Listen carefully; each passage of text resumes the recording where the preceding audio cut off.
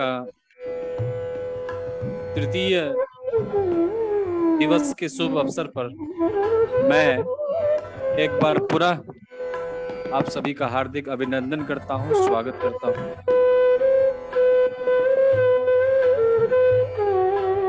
मित्रों, साथियों, जैसा कि आप जानते हैं, स्वागत आप जिस प्लेटफॉर्म पर जुड़े हैं हुए हैं प्लेटफॉर्म पर जुड़े हुए हैं। चाहे जूम ऐप हो चाहे साथियों, जैसा कि आप जानते हैं। स्वागत है। आप जिस प्लेटफॉर्म पर जुड़े हैं हुए हैं,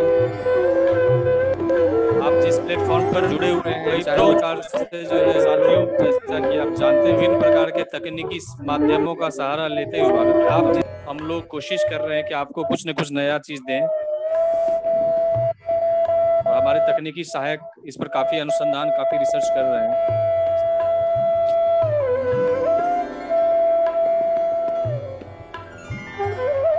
निसंदेह, आज का जो हमारा विषय है, वो भी अनुसंधान से ही संबंधित है।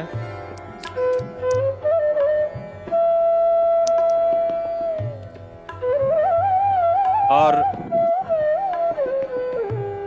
विषय क्या है?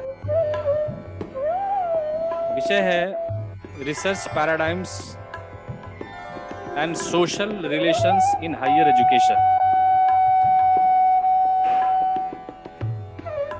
इसमें कई प्रकार के डायमेंशंस हैं, कई प्रकार के एस्पेक्ट्स हैं। और आज के जो हमारे वक्ता हैं,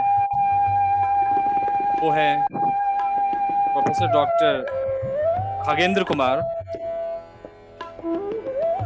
ये पूर्व में डीन विभागाध्यक्ष और प्रिंसिपल रह चुके हैं।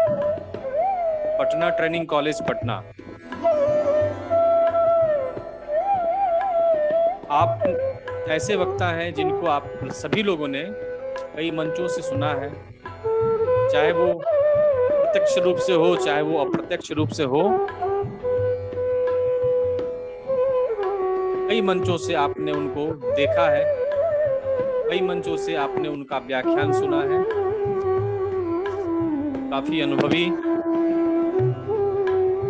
सादगी पूर्ण और शालीन, शालीनता जो है, उनकी खासियत है। उनका व्यक्तित्व बहुत सामान्य है। और जब वो अपने विषय पर अपनी बात को रखते हैं, अत्यंत तार्किक पूर्ण तरीके से, अत्यंत मार्मिक तरीके से, अत्यंत विविधतापूर्ण तरीके से वो रखते हैं।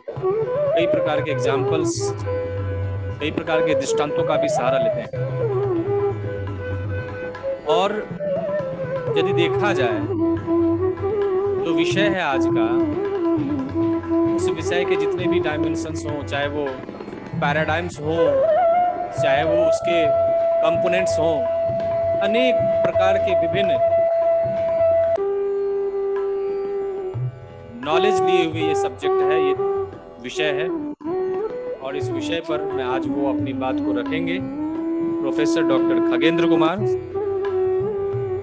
पूर्व विभागाध्यक्ष, पूर्व डीन, पूर्व principal, Patna training college, Patna. साथियों, आज जैसा कि आप जानते हैं कि ऑनलाइन नेशनल लेक्चर सीरीज़ का आज तीसरा दिन है। सभी लोग क्रमशः जुड़ रहे हैं। धीरे धीरे सभी पार्टिसिपेंट्स जुड़ रहे हैं। और जैसा कि मैं पहले दिन से आप सभी को कह रहा हूँ हम अपने कार्यक्रम की शुरुआत एकदम निर्धारित समयानुसार ही करेंगे। समय के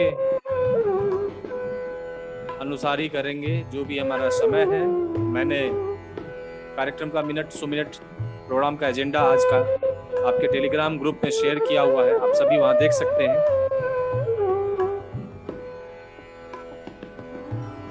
कोई भी कार्यक्रम यदि अपने समय से शुरू होता है, समय से अंत होता है तो उस कार्यक्रम की गुणवत्ता बढ़ जाती है, उस कार्यक्रम का, की प्रशंसा की जाती है। ये मैं निर्धारित तो नहीं कर सकता, लेकिन आप खुद कह सकते हैं इस चीज़ को, समझ सकते हैं। हर कार्यक्रम अपने समय के अनुसार हो, समय के अनुसार खत्म हो तो एक विशेषता हो जाती है उस कार्यक्रम की। वास्तव में बिजली college of education Jhumri Telaiya, संपूर्ण अध्यापक शिक्षा के जितने भी आयाम हैं, वो अपने अंदर समेटे हुए हैं। और उसी कड़ी में पहली बार तेईस अगस्त को राष्ट्रीय वेबिनार और 24 से 28 अगस्त तक राष्ट्रीय व्याख्यान माला कार्यक्रम का आयोजन कर रहा है। इसमें देश के विभिन्न प्रांतों से विभिन्न प्रतिभागी शिरकत कर रहे हैं, विभिन्न प्रतिभागियों ने अपना रजिस्ट्रेशन कराया है। और इसमें दो राय नहीं है जैसा कि आप सभी जानते हैं कि मैंने आग्रह किया है, मैंने आप सभी से अनुरोध किया हुआ है आप इस कार्यक्रम को सुने, इस कार्यक्रम को देखें, हमारे वक्ता को सुने और अपने ज्ञान के आयाम को, अपने ज्ञान के सीमाओं को और नई ऊंचाइयों पर ले जाएँ। यही इस ग्रिजली महाविद्यालय का सपना है, इस ग्रिजली महाविद्यालय की अपनी सोच है। यह महाविद्यालय 2009 ईस्वी में संपूर्ण राष्ट्रीय पटल पर उभर के सामने आया, सन 2009 ईस्वी में। और उत्तरोत्तर साल दर साल वह अपने महाविद्यालय एक नई ऊंचाइयों को छूता चला गया। आज हम इस महाविद्यालय के माध्यम से हम लोग ग्यारहवें वर्ष में प्रवेश कर चुके हैं। और इस ग्यारहवें वर्ष की जो उपलब्धि है, वो एक दो नहीं है, कई उपलब्धियाँ हैं। इसको इस मंच से गिनाना बड़ा मुश्किल है।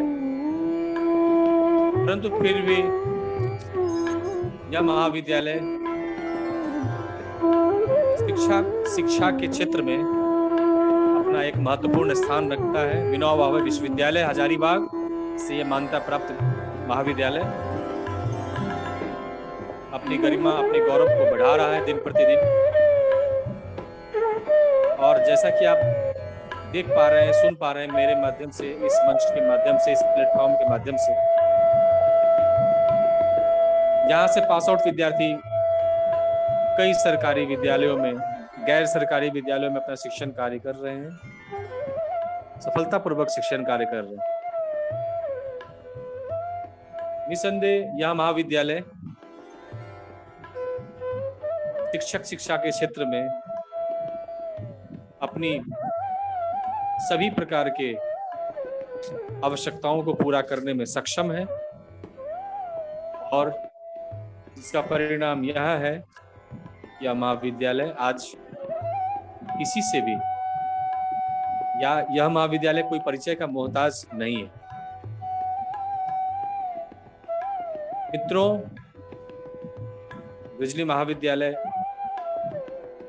अपने 11 वर्षों के दौरान ऐसे कई कार्यक्रम को कराया है, ऐसे कई आयोजनों का साक्षात्कार करवाया है।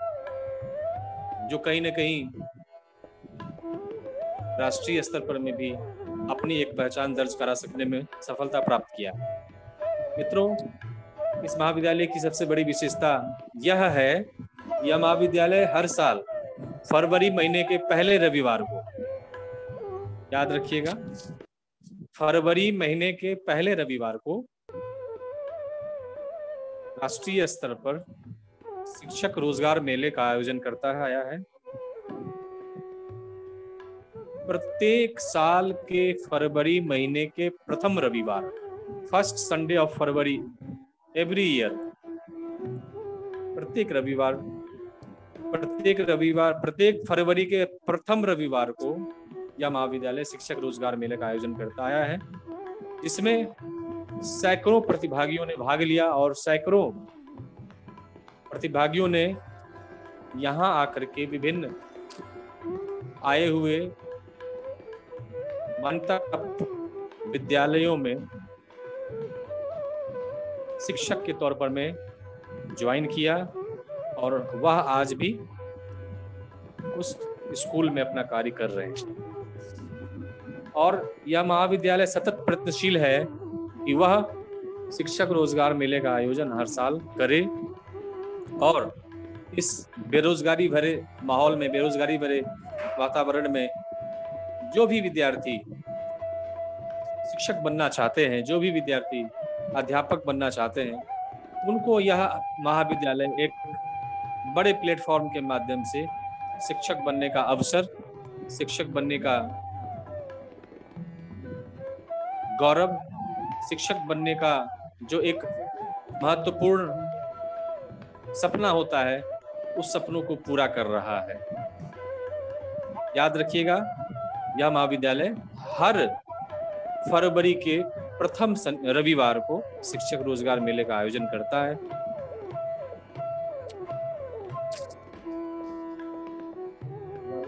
पहला रविवार फरवरी का भी कौन सा तारीख? निसंदेह आज राष्ट्रीय व्याख्यान माला के तृतीय अवसर पर, तृतीय दिवस के मौके पर तृतीय दिवस के मौके पर आपका पुनः मैं हार्दिक अभिनंदन करता हूँ, हार्दिक स्वागत करता हूँ।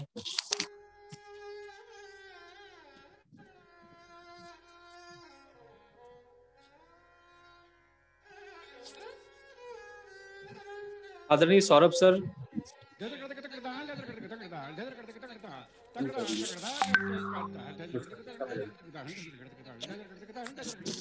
सुप्रभात के माध्यम से सुप्रभात सुप्रभात। सब लोग जुड़ चुके हैं क्रमशः। जी सर। नए दिन और नए जोश के साथ हम सब एक बार पुनः उपस्थित हैं अपनी व्याख्यान माला में।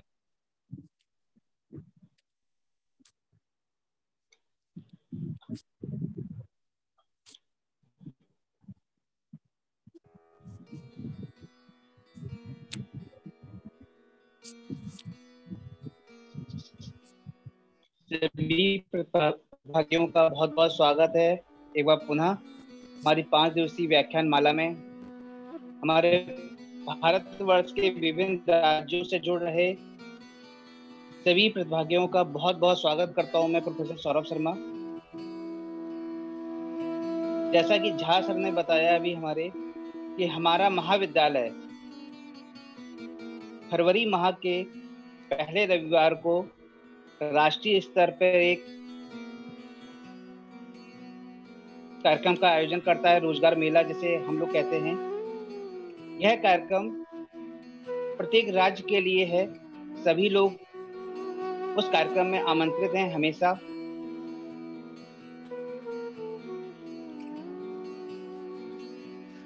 हमारे महाविद्यालय की जो उपलब्धियाँ हैं झा सर ने अभी बताई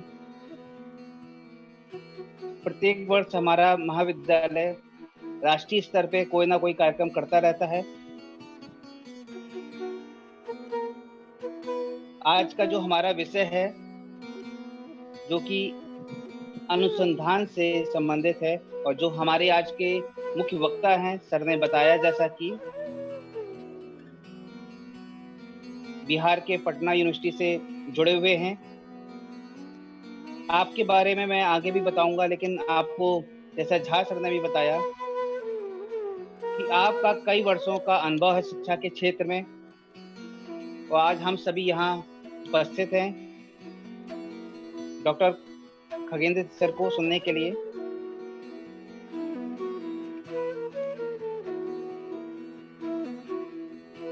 लगातार हमारे प्रतिभागी जुड़ रहे हैं, हमारे माध्यम से।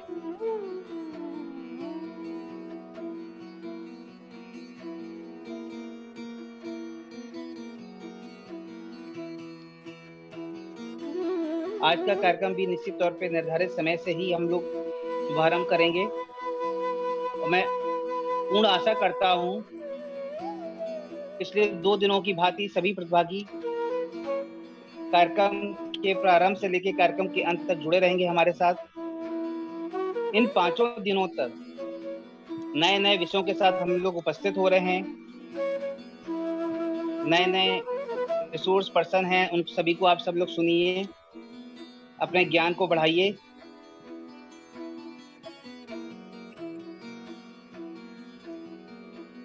जैसा कि आप सब जानते हैं कि यह कार्यक्रम का प्रारंभ हम लोग दस पैंतालीस से करते हैं।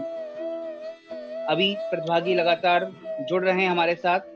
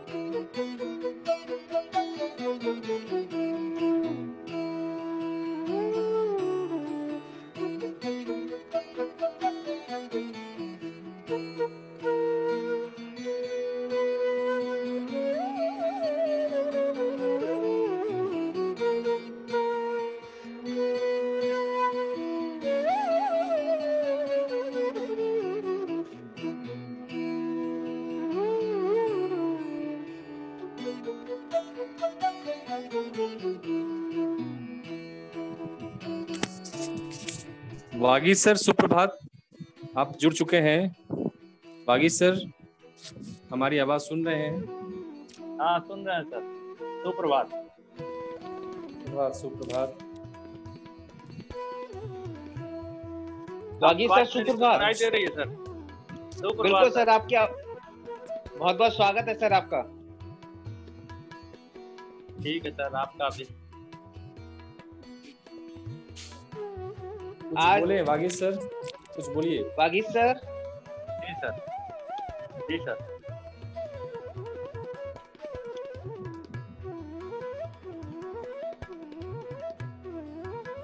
आपके शब्दों में तो हमेशा जादू रहता है सर। हाँ सर।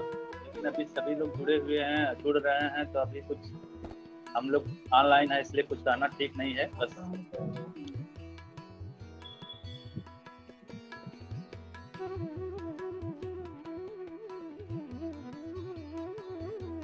बहुत सारे लोग जुड़े हुए हैं ना? बिल्कुल सर सब जुड़ रहे हैं और ये पाँच दिवसीय जो अ, हमारा महाविद्यालय ये पाँच दिवसीय जो व्याख्यान माला का आयोजन किया है निश्चित तौर पे हमारे देश के जो भी विद्वान जन हैं और जो भी हमारे शोधार्थी हैं उनको भी इसका लाभ ज़रूर मिल रहा होगा। हम लोग पूर्ण आशा करते हैं कि वो लोग अ, उनकी जो भी अपेक्षाएँ हैं जो भी जिज्ञासा है हमारे हमारे रिसोर्स पर्सन निश्चित तौर पे उनको पूर्ण कर रहे होंगे।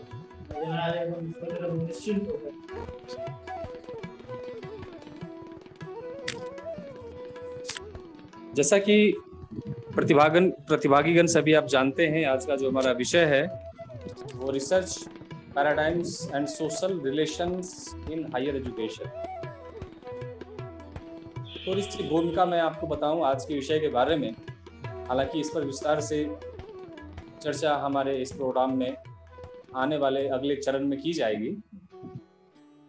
सबसे पहली बात आती है पैराडाइम्स की। What is paradigms? और रिसर्च पैराडाइम्स क्या है?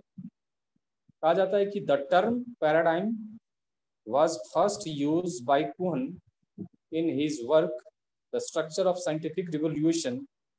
He defined research paradigms as an integrated cluster of substantive concepts, variables, and problems attached with corresponding methodological approaches and tools. As a researcher, you will be curious to know the answers to your research questions. The answers to the research questions can be solved in an informal manner, but you will not be able to inform the readers how you conduct the research. It is absolutely it is absolutely important for a researcher to provide step-by-step guide to the readers about how the research proceeds and how the researcher got the answers to the research questions.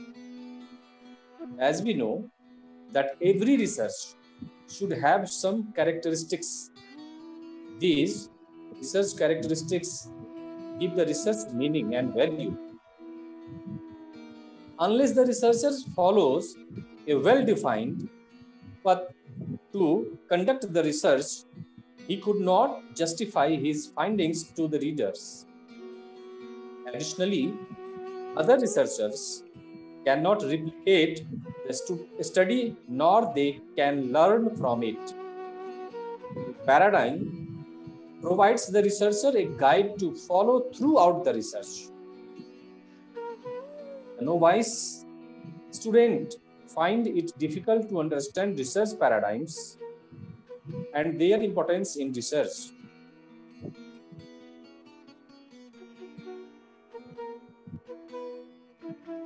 There are four paradigms of, there are four components of research paradigms. First, ontology. Second, epistemology. Third, methodology. And four, methods. Ontology. The ontology is the reality of knowledge that exists and that the research wants to seek. For each research paradigm, there is an ontological view that the researcher seeks through research monism, pluralism, idealism, dualism, materialism are some of the ontological views that one can follow. The ontology cannot be reached without knowing the epistemology of research. In pure science, for example, the scientist will use a real reality as an ontological view and to know that real reality the scientist will use objectively as an epistemological systems quantitative methods as the methodology and hence the scientist is using positivism as the paradigm to find answers to the research questions. Reality of real. Reality is totally an objective way to find answers to the research questions. Epistemology. Epistemology is the philosophical view to seek the reality. It paves the way to find the truth. That is ontology. Epistemology and ontology are webbed together, and none is possible without each other. Realism, rationalism, relativism, and irrationalism are some of the epistemology that are out there. Epistemology and ontology are like nail and hammer, none can work without each other. If you want to know the reality, you should use and epistemology to get the answer. In each research paradigm, there are some epistemology, the researcher can choose one that suits the research questions. And three, third components are methodology. The methodology can be quantitative or qualitative and within each of these methodology there are several research techniques pure science quantitative research methodology is commonly used in social science qualitative research methodology is more common in use as a combination कौन पर जुड़े हैं हैं quantitative and qualitative research methodologies here are mixed method methodology that is more adaptable and in use in both pure science and social science. For a positivist, quantitative research methodology is more suitable and for a interpretivist, qualitative and mixed method approaches are more common to be used. One very important point to be considered here is that once you decide about either on of the ontology, epistemology, and methodology, or the research, you are bound to choose the other two from some restricted choice. The reason being that you cannot apply subjective epistemology to positivism or qualitative methodology to objectively inquiry. This also reveals how all three are connected to each other and combined they form a research paradigm. Although ontology, epistemology, and methodology have a relationship with the research paradigm, but as a student, you should know the difference between all of them. You can't call quantitative approach is paradigm, it is a methodology or approach to research Overall, a research paradigm is a world view about conducting research. A research paradigm, however, provides the students an idea to choose methods and research design. The research design research paradigm is the one that addresses what should be the method to follow for the research and not the other way around. साथियों, आज का विषय संपूर्ण विषय research से जुड़ा हुआ है जब भी कोई प्रशिक्षु बीएड करने के लिए आता है तो उसमें से कुछ न कुछ कोई ना कोई प्रशिक्षु रिसर्च की तरफ़ अपनी राह को देखता है रिसर्च की तरफ़ अपनी राह को तलाशता है और चाहता है कि हम शिक्षा के क्षेत्र में, आगे बढ़े, शिक्षा के क्षेत्र में रिसर्च करें, अनुसंधान करें। और इस आशा के साथ, इस मनोदशा के साथ, वो आगे की शिक्षा प्राप्त करने के लिए फिर से एम करता है, फिर एजुकेशन में पीएचडी करता है, और तमाम तरह के इनोवेटिव रिसर्च जो है, वो करते रहते With Grammarly, you can find really good, no, perfect words that make your writing sharp, or explicit, or excellent, or distinctive. So your message connects. Grammarly, helping you हमारे ऐसे बहुत सारे प्रशिक्षु आपको आपके विद्यालय में कॉलेज में ऐसे बहुत सारे लोगों को मिलेंगे बहुत सारे शिक्षकों को मिलेंगे जो कहीं ना कहीं रिसर्च प्रशिक्षु जो होते हैं वो अप्रोच दिखाते हैं रिसर्च के प्रति और सब जानते हैं कि रिसर्च की पहली आधारशिला यदि कोई बीएड करने के लिए कोई प्रशिक्षु आता है तो निसंदेह उसके सिलेबस में ऑलरेडी रिसर्च का कहीं ना कहीं एक जो सीडी है, पहली सीडी है, उस सीढ़ी से पहले साक्षात्कार हो जाता है। तो निसंदेह इसमें दो राय नहीं है कि हमारे प्रशिक्षु, हमारे स्टूडेंट्स टीचर हमारे आने वाले भविष्य के निर्माता, वो अनुसंधान में भी अपना हाथ आजमाएँ, अनुसंधान में भी अपना कौशल दिखाएँ और इसी कौशल को समझने के लिए, इसी अप्रोच को जानने के लिए आज का यह विषय research paradigms and social relations in higher education है, जिस पर आज बेहद से चर्चा हमारे मुख्य वक्ता doctor Khagendra Kumar dean former dean HOD and principal Patna training college Patna. ये आज हमसे जुड़ेंगे। आप धैर्यपूर्वक, शांतिपूर्वक अपना आसन जमा लें, अपना सीटिंग अरेंज कर लें गेस्चर पोस्चर सही रखें और हम लोग आज पुनः एक बार नए वक्ता के साथ, नए विषय के साथ जुड़ेंगे।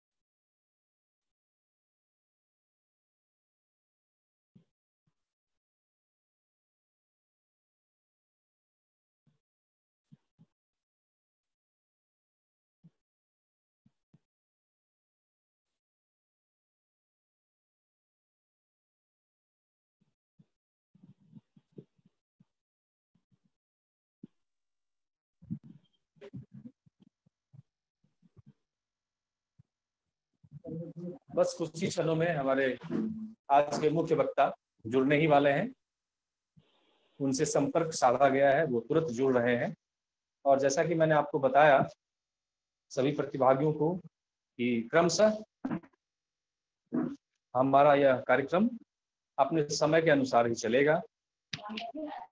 जब लोग जुड़ चुके हैं, लगभग डेढ़ सौ लोग जुड़ चुके हैं और कुछ लोग जुड़ने के कगार पर में हैं। तो आज का सेशन या ना छूटे सभी अनुरोध है। सभी प्रतिभागियों से अनुरोध है कि वह अपने स्तर से भी आज के कार्यक्रम के बारे में अपने मित्रों को बताएँ क्योंकि आज का जो विषय है वो काफ़ी महत्वपूर्ण है इम्पोर्टेंट है।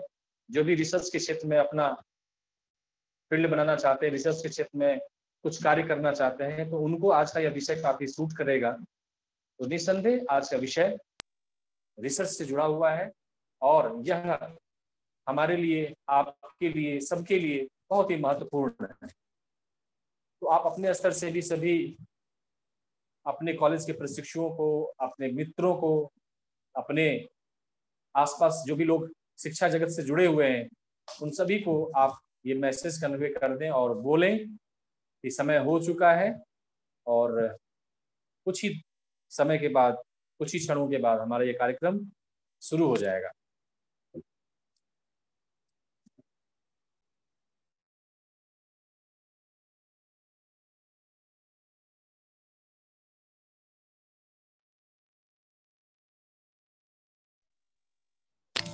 आदरणीय Saurabh sir.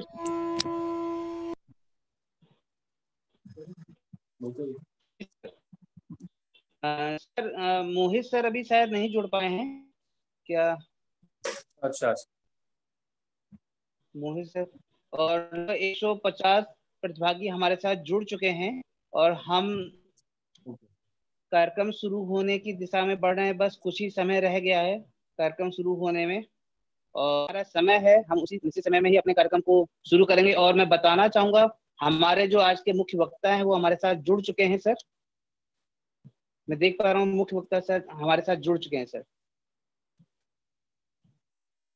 बहुत बहुत स्वागत है सर। डॉक्टर खगेंद्र सर स्वागत बहुत बहुत स्वागत है आपका इस कार्यक्रम थैंक यू वेरी मच बस सर हम लोग दस पैतालीस में हम लोग ये कार्यक्रम शुरू करेंगे सर। दो तीन मिनट का समय रह गया है। बिल्कुल लगभग डेढ़ सौ डेढ़ सौ से ऊपर प्रतिभागी जुड़ चुके हैं और लगभग तीस के आसपास प्रतिभागी यूट्यूब चैनल के माध्यम से जुड़े हुए हैं सर। चलिए। साथियों जैसा कि आप देख पा रहे हैं कि हमारे इस कार्यक्रम के आज विषय के जो मुख्य वक्ता हैं, डॉक्टर खगेंद्र कुमार, वो जुड़ चुके हैं। और आज का जो विषय है, जैसा कि मैं पहले से भी आपको अवगत करा चुका हूँ और पुनः एक बार मैं फिर से इसको रिमाइंड करा दे रहा हूँ। आज का विषय research paradigms and social relations in higher education है। और इस विषय पर अपनी बात को रखने के लिए हमारे मुख्य वक्ता इस चैनल के माध्यम से जुड़ चुके हैं। बस आप लोग देरी ना करें। और तुरंत समय के साथ जुड़ें। दस पैंतालीस में ये कार्यक्रम स्टार्ट हो जाएगा। दस चालीस, हमारा कंप्यूटर दस चालीस बता रहा है सर हम पाँच मिनट अभी हैं, हमारे पास समय है पाँच मिनट। पाँच मिनट के बाद हम कुछ ये कार्यक्रम औपचारिकता बस फॉर्मेलिटीज के साथ जो भी हमारी चीज़ें होती हैं प्रारंभिक, वो सभी चीज़ों को करने के उपरांत ये कार्यक्रम स्टार्ट हो जाएगा, शुरुआत की जाएगी।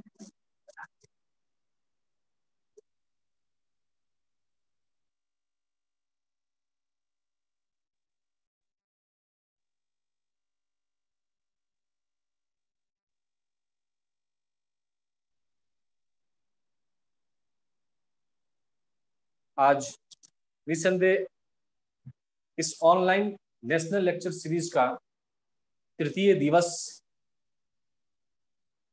के अवसर पर आप सभी प्रतिभागी और मीडिया कर्मी, बहुत सारे लोग जुड़े हुए हैं।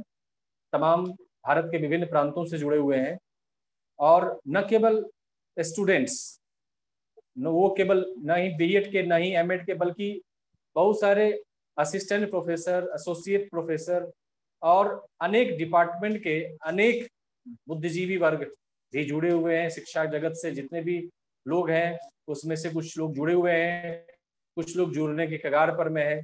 और जैसा कि मैंने आपको बताया कि यह कार्यक्रम चूँकि वर्चुअल मोड के माध्यम से कंडक्ट करवाया जा रहा है तो निसंदेह एक दूसरे को कॉपरेट करना चाहिए। और इसी का इसी का यह असर है कि हम लोग इस प्लेटफॉर्म के माध्यम से इतने लोगों को जोड़ पा रहे हैं। आज यही कार्यक्रम यदि फेस टू फेस कंडक्ट करवाया जाता तो शायद इतने लोग उपस्थित नहीं हो पाते। तो यह माध्यम हमें एक अपॉर्चुनिटी भी दिया है, जिसके माध्यम से हम सैकड़ों लोगों को जोड़ पा रहे हैं।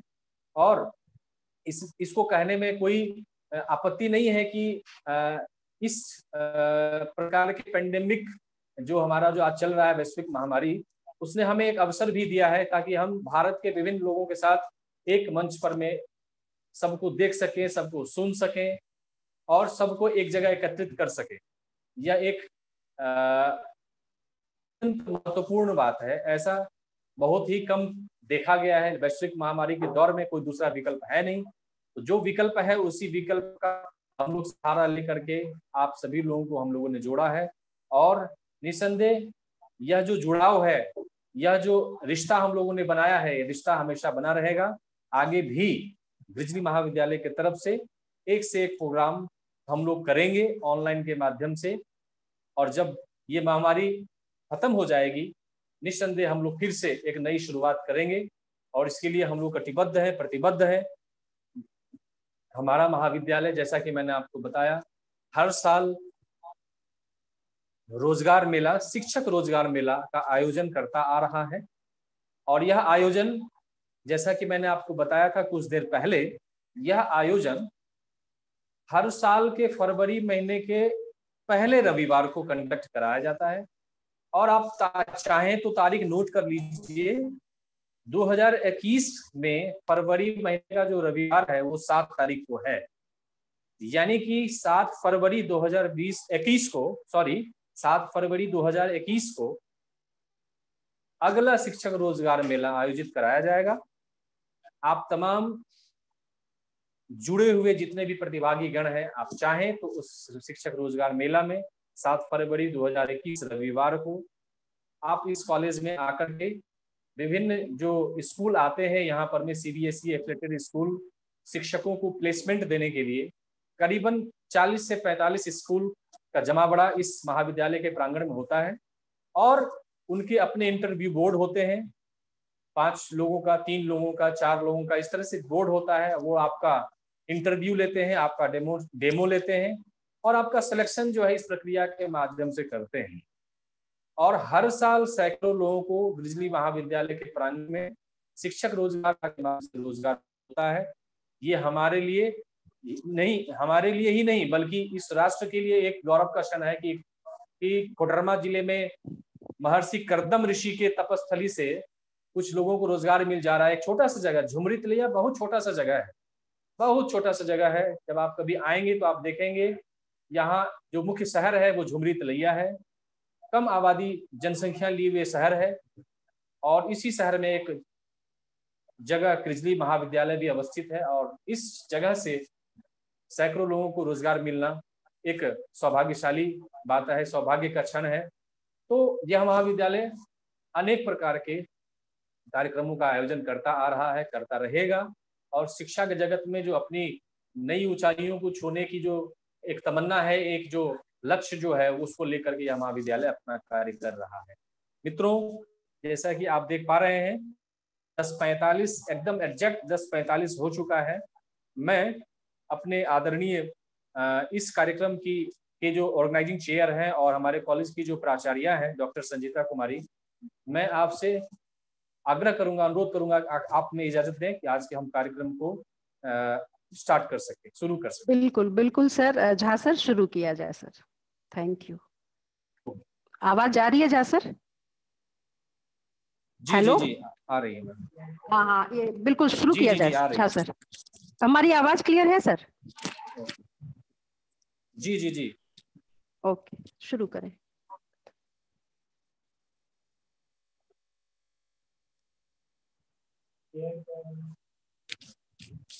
सर्वे भवन्तु सुखिनः, सर्वे सन्तु निरामया, सर्वे भद्राणि पश्यन्तु, माँ कश्चित दुख भाग भवे आइए मित्रों, जैसा कि मैंने आप सभी को बताया है कि समय हो चुका है, और हम हर दिन अपने कार्यक्रम की शुरुआत माँ सरस्वती की आराधना करके करते हैं। आइए हम लोग माँ सरस्वती की वंदना को सुने और उसके पश्चात यह कार्यक्रम प्रारंभ होगा।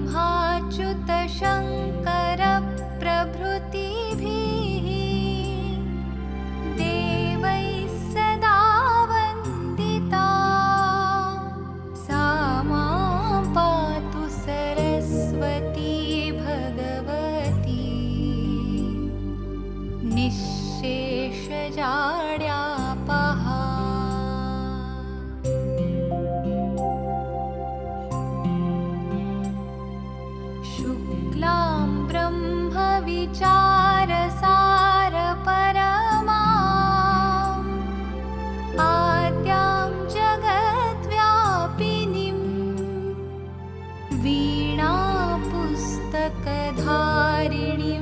अभयदा। जा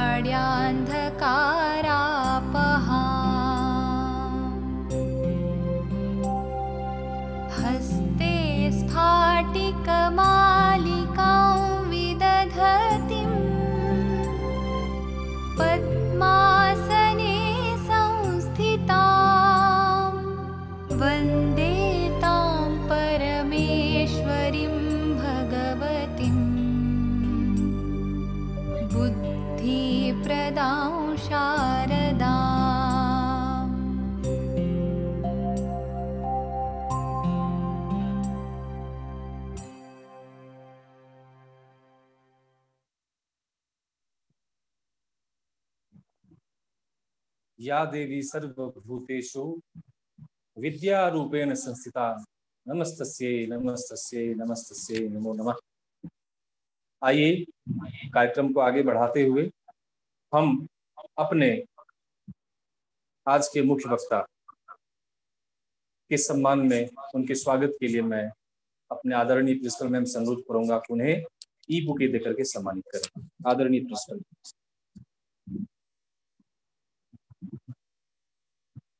Uh, welcome to Grizzly College of Education, sir. Thank you so much, sir.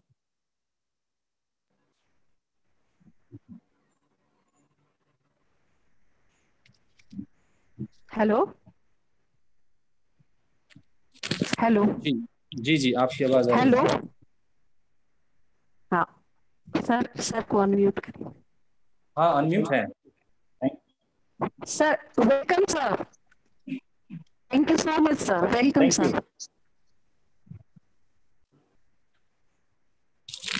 okay thank you very much ma'am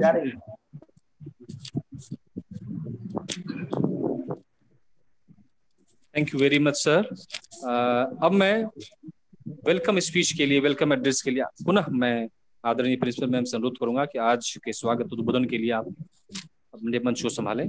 आदरणीय प्रिंसिपल मैम धन्यवाद झा सर। मैं ऑडिबल हूँ? जी जी जी। Good morning everyone Grizzly college of education द्वारा आयोजित इस पाँच दिवसीय ऑनलाइन लेक्चर सीरीज़ के तृतीय व्याख्यान के विद्वान वक्ता doctor Khagendra Kumar former dean HOD and principal Patna training college Patna Bihar कार्यक्रम के अध्यक्ष मनीष कपसीबे सर सचिव श्री अविनाश सेठ सर सभी प्रतिभागीगण, जिसमें प्राचार्य, विभागाध्यक्ष, संकायाध्यक्ष, व्याख्यातागण, शोधार्थी, शिक्षार्थी एवं अन्य। कार्यक्रम के संयोजक सह संयोजक आयोजन समिति के सदस्य गण महाविद्यालय परिवार के सदस्य गण वे सभी जो प्रत्यक्ष एवं परोक्ष रूप से इस कार्यक्रम से जुड़े हैं, मीडिया के प्रतिनिधि महाविद्यालय परिवार की ओर से आप सबका बहुत बहुत स्वागत और बहुत बहुत अभिनंदन है। पाँच दिवसीय ऑनलाइन व्याख्यान माला के दो व्याख्यान के सफल आयोजन के बाद आज तृतीय व्याख्यान, जिसका विषय research paradigms and social relation in higher education पर विद्वान एवं अनुभवी वक्ता डॉक्टर खगेंद्र कुमार सर को हम लोग सुनेंगे। सर के बारे में मैं यह जानकारी देते हुए काफ़ी खुशी का अनुभव कर रही हूँ कि सर हमारे गुरु रहे हैं। और मेरे और मेरे संस्था के लिए यह सौभाग्य की बात है कि आज सर हमारे साथ जुड़े हैं। मेरी हमेशा से एक इच्छा थी कि सर हमारे संस्था के कार्यक्रम में भाग लें और हमें संबोधित करें। आज वो अवसर आ गया है। सर ने मेरे निवेदन को तुरंत स्वीकार किया, क्योंकि सर की व्यस्तता को मैं जान रही हूँ इस कोविड के वर्चुअल दौर में सर ने विभिन्न विश्वविद्यालयों में लगभग 50 से ज़्यादा लेक्चर डिलीवर किया है। लगातार व्यस्तता के बावजूद मेरे आग्रह को तुरंत स्वीकार किया। इसके लिए मैं संपूर्ण महाविद्यालय परिवार की ओर से आपका बहुत बहुत अभिनंदन बहुत बहुत स्वागत करती हूँ। सर का व्याख्यान research paradigm and social relations in higher education पर सर हमारा मार्गदर्शन करेंगे। एक बार पुनः सर, आपका बहुत बहुत स्वागत और बहुत बहुत अभिनंदन। मैं स्वागत करती हूँ दूर दराज से जुड़े उन तमाम प्रतिभागियों का, जिनमें कई महाविद्यालयों के प्राचार्यगण, संकायाध्यक्ष, विभागाध्यक्ष अध्यापक गण शोधार्थी, शिक्षक जुड़े हैं। या महाविद्यालय परिवार आप सबों का बहुत बहुत स्वागत बहुत बहुत अभिनंदन करता है। मैं स्वागत करती हूँ रजली कॉलेज ऑफ़ एजुकेशन के निदेशक द्वय, श्री अविनाश कुमार सेठ और श्री मनीष कपसे सर। जिनके मार्गदर्शन और सहयोग के बिना यह आयोजन संभव नहीं था। आप दोनों का बहुत बहुत अभिनंदन और बहुत बहुत स्वागत करती हूँ, सर। मैं स्वागत करती हूँ इस कार्यक्रम के organising secretary Shri C N Jha sir convener Shri Mohit Tiwari coordinator Saurabh Sharma organising committee के तमाम सदस्यों एवं टेक्निकल सपोर्टिव स्टाफ जिनकी कड़ी मेहनत और अथक प्रयास से यह कार्यक्रम संभव हो पाया है। इस महाविद्यालय के साथ ही साथ इस लेक्चर सीरीज़ में प्रत्यक्ष और परोक्ष रूप से जुड़े तमाम सदस्यों का बहुत बहुत अभिनंदन और बहुत बहुत स्वागत। अंत में यह महाविद्यालय परिवार आज इस वर्चुअल मोड से जुड़े तमाम सदस्यों का बहुत अभिनंदन और स्वागत करता है। धन्यवाद। ओवर टू झा सर धन्यवाद मैम आपने हमारे मुख्य वक्ता को का भी नाम लिया और मैं सभी प्रतिभागीगण से बता दूँ कि हमारे जो मुख्य वक्ता है, हमारी प्रिंसिपल मैम के गुरु भी रह चुके हैं और हमारी ये कहते हुए काफ़ी हमें गौरव का एहसास हो रहा है।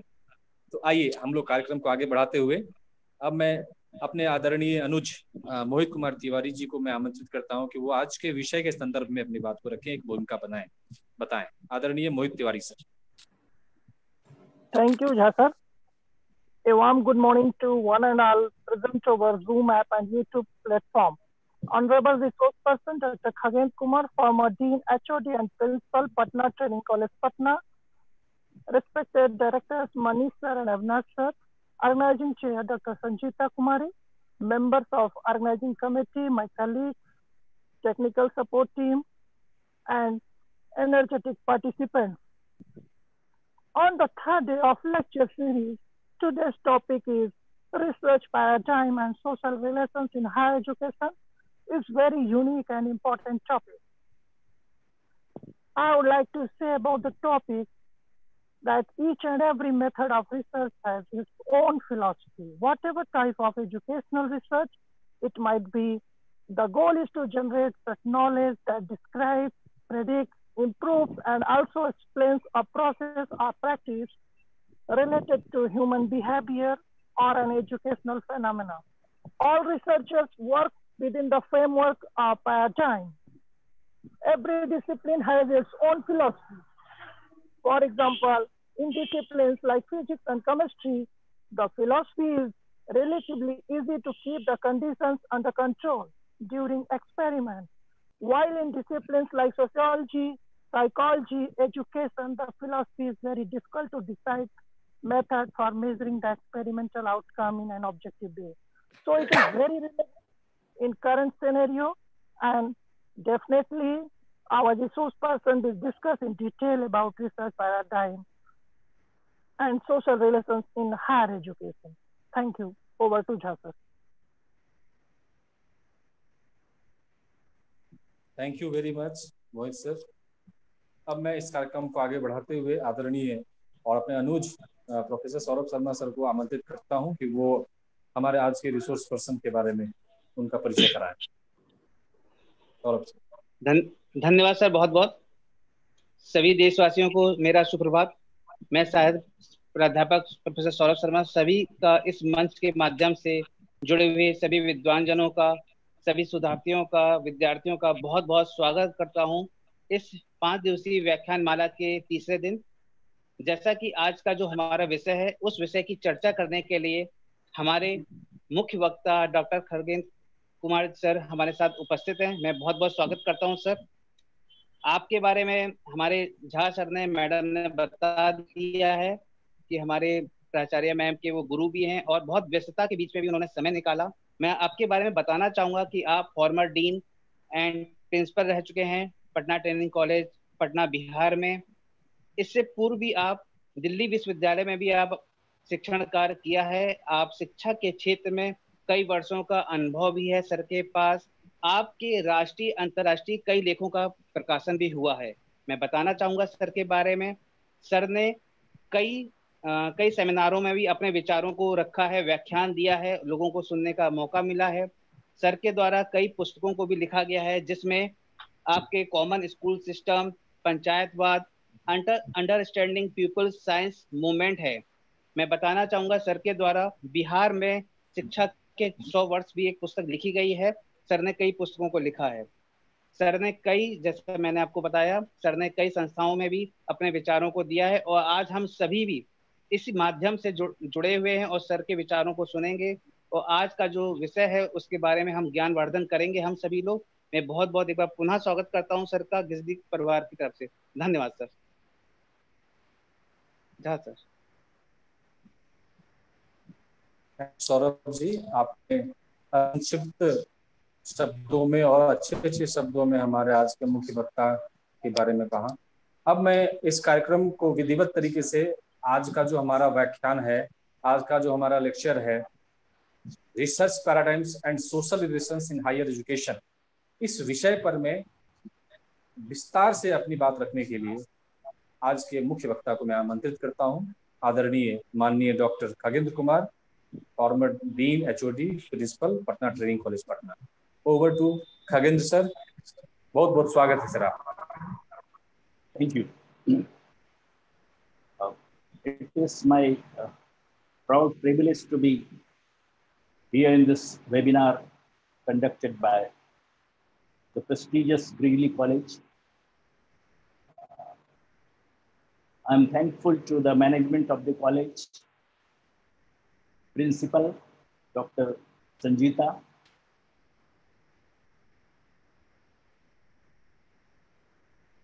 organizing secretary, Jhaji, and all other members of the organizing committee, teachers of the college, and all those who are participating in this webinar. As you know, today I'll be talking on a very relevant issue, relevant topic, that is research paradigms and social relations in higher education. Uh, in fact, I wanted to make it very clear. You, you, most of you uh, have some idea of research, research methods and approaches in research, paradigms of research. In fact, I am not going to discuss any of these per se. It means I am not going to talk what is about the method and what is about the approach. The main issue of my uh, discussion is that it is the relation of social relations in higher education that is created by research. The knowledge we create, that knowledge is how, how far related to the society. What kind of relations exist between the various members of a particular issue or phenomenon you have taken into consideration.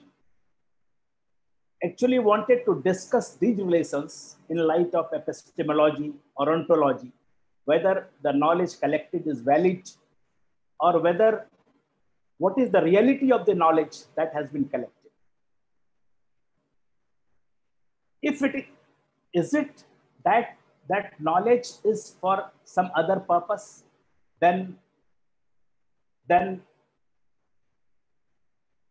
then exploring the issue, or we can say the uh, the actors of the research actors of a particular phenomena under consideration or particular topic or issue or problem you have taken into consideration. The actors involved in that, how they are related, whether a researcher maneuvers the environment or not, or, or they, they, they have certain interlinking with the issue or not, or just they collect data uh, as it is, it is, it is uh, created by external stimuli or environment. So these are some of the issues which uh, I would be taking uh, today in this discussion. Instead of discussing the methodology per se, uh, we can say that there is a conflict or there is a fundamental con contradiction in terms of scope and status of higher education what is the scope of higher education? Higher education has a major responsibility to preserve, extend, and apply the body of knowledge. This is the basic scope. And this body of knowledge of higher education, this is created in higher education institutions, colleges and universities. But you know that there is a little control of the people of the higher education over this knowledge. Or you can say the, these domain of knowledge, this body of knowledge reaches higher community in less, lesser proportion. It goes elsewhere. It is controlled by, by, by, by other segments of society, dominant segment of society, rather than by the researchers or actors of the higher education. Now, uh, you know that inquiry in teacher education, sorry, inquiry in higher education, teacher education also a part of higher education. So it is equally applicable. Inquiry in higher education, as you know that, it is too technocratic, too narrow, too specialized. It is too inwardly focused and it is irrelevant to public policy and social practices. What comes out of the university, the knowledge, what we create, it does not appear to be relevant to the public policy and social practices. So what are the purpose of uh, higher education uh, research? It is very important to, uh, uh to, to look into the purpose. Now, here there are two questions. Is the main purpose of higher education research is to inform organizational and managerial elites about social dynamics of higher education. Whether purpose is to inform the elites, managers of the higher institutions, or those who, who administrative and other control over the higher education. So its main purpose is to, to, to create knowledge about the social dynamics of higher education for them. And other question is that, is the main purpose is to contribute to society's knowledge itself and its processes.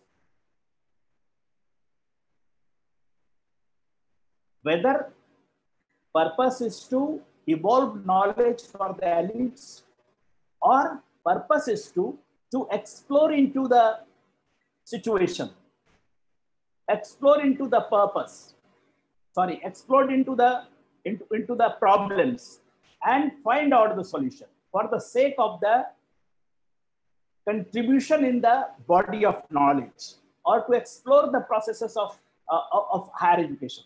And these processes in real sense, how they operate, how uh, higher education functions, what is their relations to the actors of society or to various segments related to the higher education, whether this is the purpose or purpose is directed towards benefiting the organizers. If organizers find something wrong with the, with the, with the higher education, whether purpose is to find out certain solutions for that, solutions so that they can manage that situation. Now,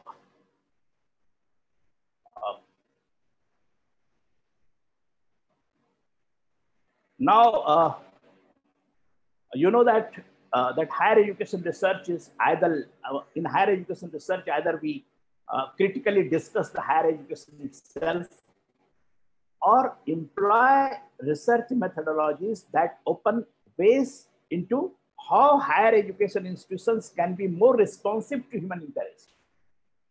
So it's basic thing. Whether our research is responsive to the human interests or not.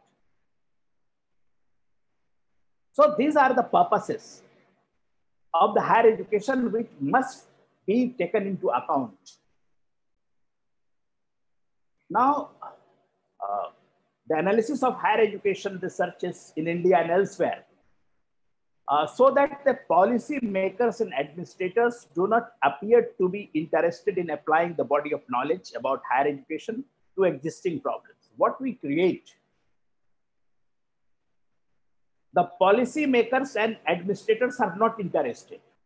They have their own frame of mind or they think they have some special knowledge through which they can make policies or they can control the higher education institutions or solve the problems. The researches conducted in the university finds little application in managing the things by these people. And it is an issue of great concerns and that needs to be answered. What we create, you put a lot of efforts in, in, in conducting research and that result is of no value for the policy makers or for the administrators. And it has been, uh, it has been studied that majority of the analysis, so the majority of knowledge that remain in the thesis or in the papers itself. They are not used. Now, uh, you know that there are two main types of uh, two paradigms, two, two basic paradigms of higher education research. Or you can say uh, uh, there are two uh, main types of higher education research. One is positivistic and other is interpretative. But both failed, fail, uh, but both failed to put themselves on higher education in socio-historical context. We have two very important paradigms, or we can say uh, that established, established methodologies or approaches that is called paradigm. That is one is positivist and another is interpretive. Now these two, you know about that positive, positivist and interpretivist. But these two, I'll be talking uh, uh, something more about these two paradigms in the course of time. But these two, or you can say that even both the paradigms, they are unable to put themselves, methodologies themselves or higher education in social context, social historical context. They are inwardly, they see the problem in isolation. They don't work on macro level. How it is related to the social historical context, that contexts are not taken into consideration. So it's the first thing. And another really critical dimensions of social thought and practice do not constitute priorities of discourse or debate about social relations in higher education.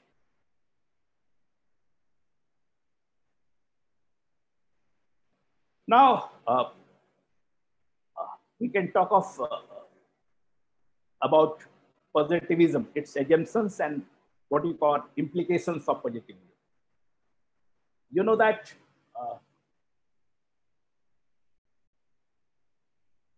here is a slide for you. Yeah. There are two assumptions Reality, in, in case of positivist, reality is external. And objective knowledge is based on observation. In positivism, research is neutral and knowledge is objective. Researcher is not biased, not subjective, and knowledge created by the scientific method, that is objective. And reality external. It is external thing there are some external forces that control the reality and its implications you know it is independent it is value free it is causal cause effect relation is there it is hypothetical deductive you know that you know the scientific method uh, uh, which generally you apply based on where you uh, identify problem then you uh, hypothesize and for that, in order to test that hypothesis, you uh, collect data and finally deduce something. So this is hypothetical, uh, hypo, hypothetical uh, deductive and reduction. Finally, we uh, that that that whole problem is the whole answer is reduced into uh, into into few lines, and we can generalize. So basically, you know that uh, this is the uh, implications of uh, uh, of, of, of uh, this positivist.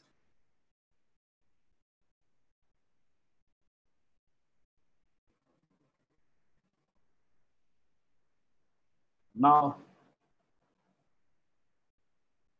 now see the uh, theoretical perspectives of positivism because uh, I, uh, what I wanted to discuss, the important part of this discussion will come later and before that, I wanted to make uh, at least some basis so that you can understand the, uh, the, the both paradigms, uh, dominant paradigms, which would be critically analyzed in the later part of this uh, talk.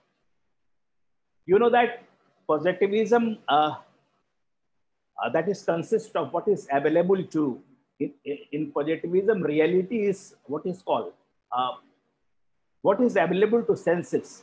It means you can smell uh, you can see you can touch and this is the basis of data collection. An inquiry uh, inquiry should be based upon scientific observation. You know the natural and uh, yeah, human sciences share the common uh, logical and methodological principles dealing with facts and not with, uh, not with values. As in case of natural sciences, natural sciences we de deal with a, a, what we call facts. Values not there. So this positivist has been derived from that natural sciences method, and here value has no place. You know that any social context will have its value the operation of higher education in any context will definitely take some values. Without values, there can't be any higher education. But while positivists work, they work in the frame of natural sciences and they wanted to explore facts. Value is not considered over here. And you know, you know that uh, the last point you can see ideas only deserve their incorporation into knowledge. They can be put to test of empirical experiences. Here everything is empirical. Your hypothesis can be tested or whatever uh, ideas you are having that can be put to empirical experience.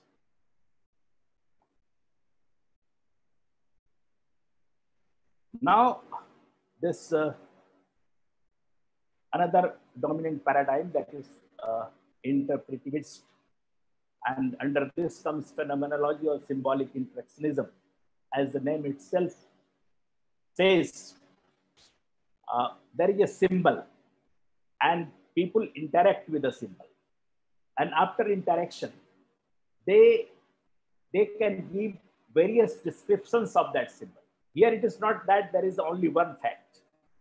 A symbol or a phenomenon can be described in various ways. Those who are concerned or those who have seen or those who have experience of that phenomenon. Suppose I show you a picture.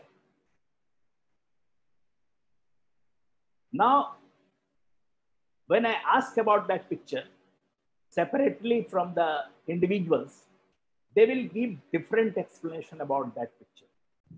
Somebody says this picture says uh, this, another will say we can see something else in that picture. So here symbol, individuals interact with a symbol and their interpretations might vary. So this reject the notion of absolute facts and world is socially created this world is socially created. It is not that. It is uh, it, it behaves as it as as as an object. And here focus is on meaning. Focus is not on fact, but it's on meaning. How a particular phenomenon is seen by the people. Now, now the theoretical uh, not working.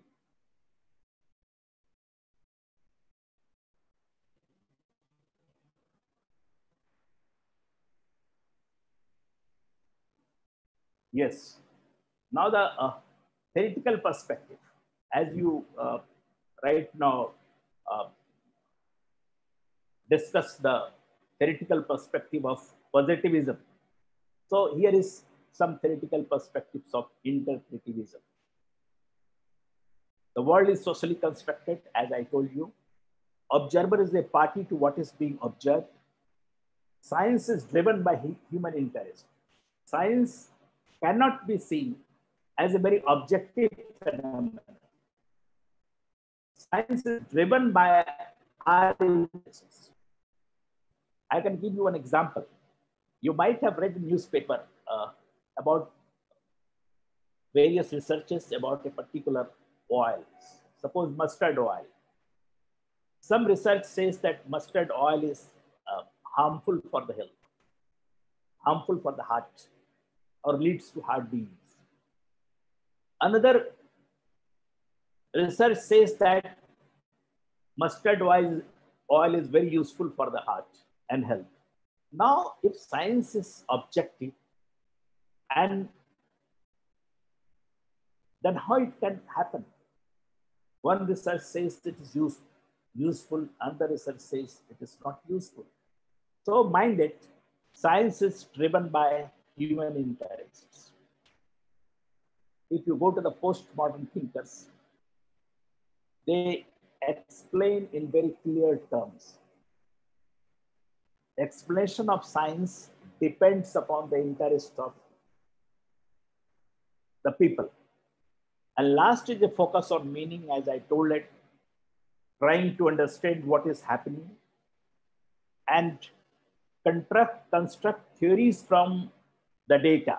From the data, inductively, we construct, uh, construct theories, use multiple methods to establish different views of the phenomenon. In phenomenology or interpretivism, we have different uh, ways to, to work. There are different methods.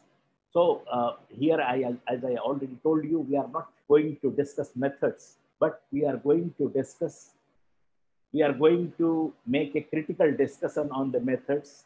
And uh, finally uh, uh, wanted to, uh, wanted to wanted to bring to your notice that that that what is what should be there in research, how it should be perceived, how it should should be uh, how the approach should be molded in the right direction, and things like that.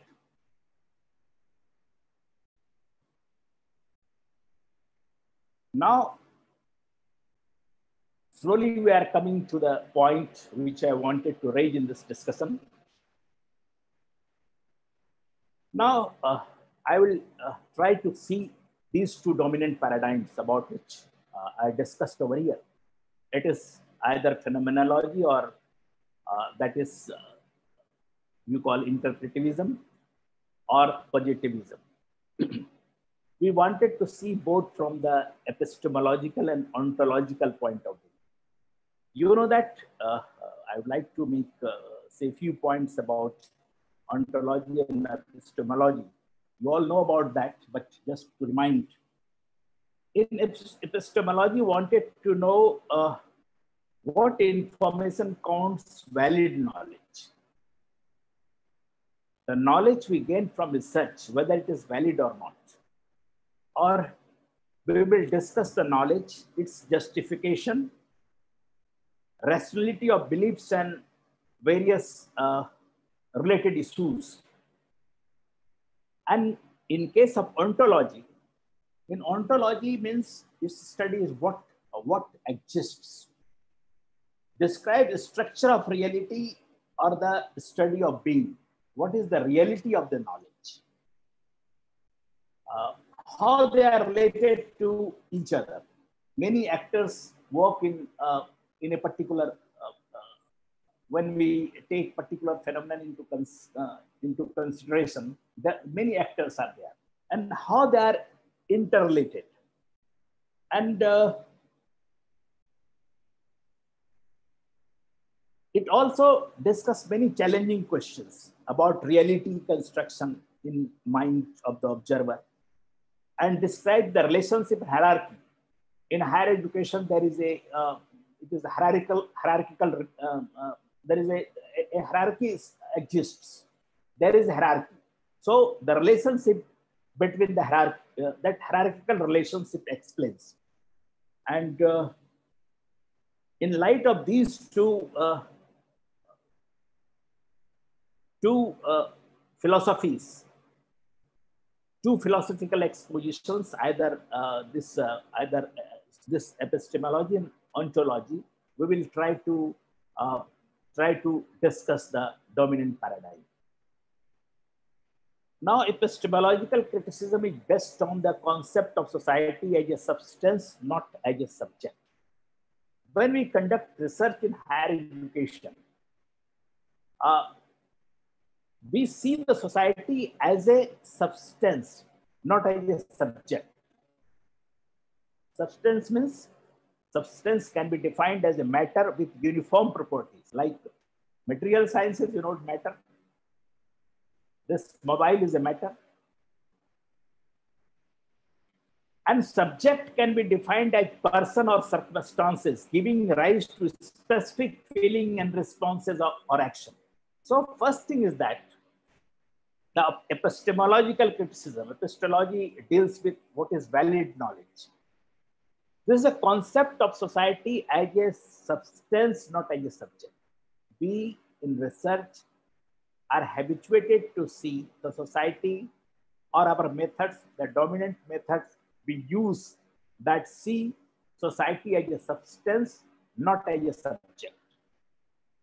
And the existing dominant methods of higher education research emphasize that a view of people is taken as passive receptacles of external stimuli in the social relations, not as reflective and active producers of their environment. We are the passive receptacles, people from whom you conduct, you, you, you acquire, you get information. They are the वो uh, क्या है एक निष्क्रिय पात्र है जो कि जो external stimuli and social relations जो बाह्य उद्दीपन है और उनका जो प्रभाव सोशल रिलेशंस पर है उसको जमा करने के लिए एक निष्क्रिय पात्र we don't hear consider the people as a reflective and active producers of their environment. We don't consider that there is these, these uh, people or these uh, subjects through which you, uh, you get information. They act upon the environment. They are the active producers of their environment. It is not that. We think that they are in an environment and external stimuli that that control the environment and human being is thus just a receptacle that वो एक निष्क्रिय पात्र है just that information is contained by that human being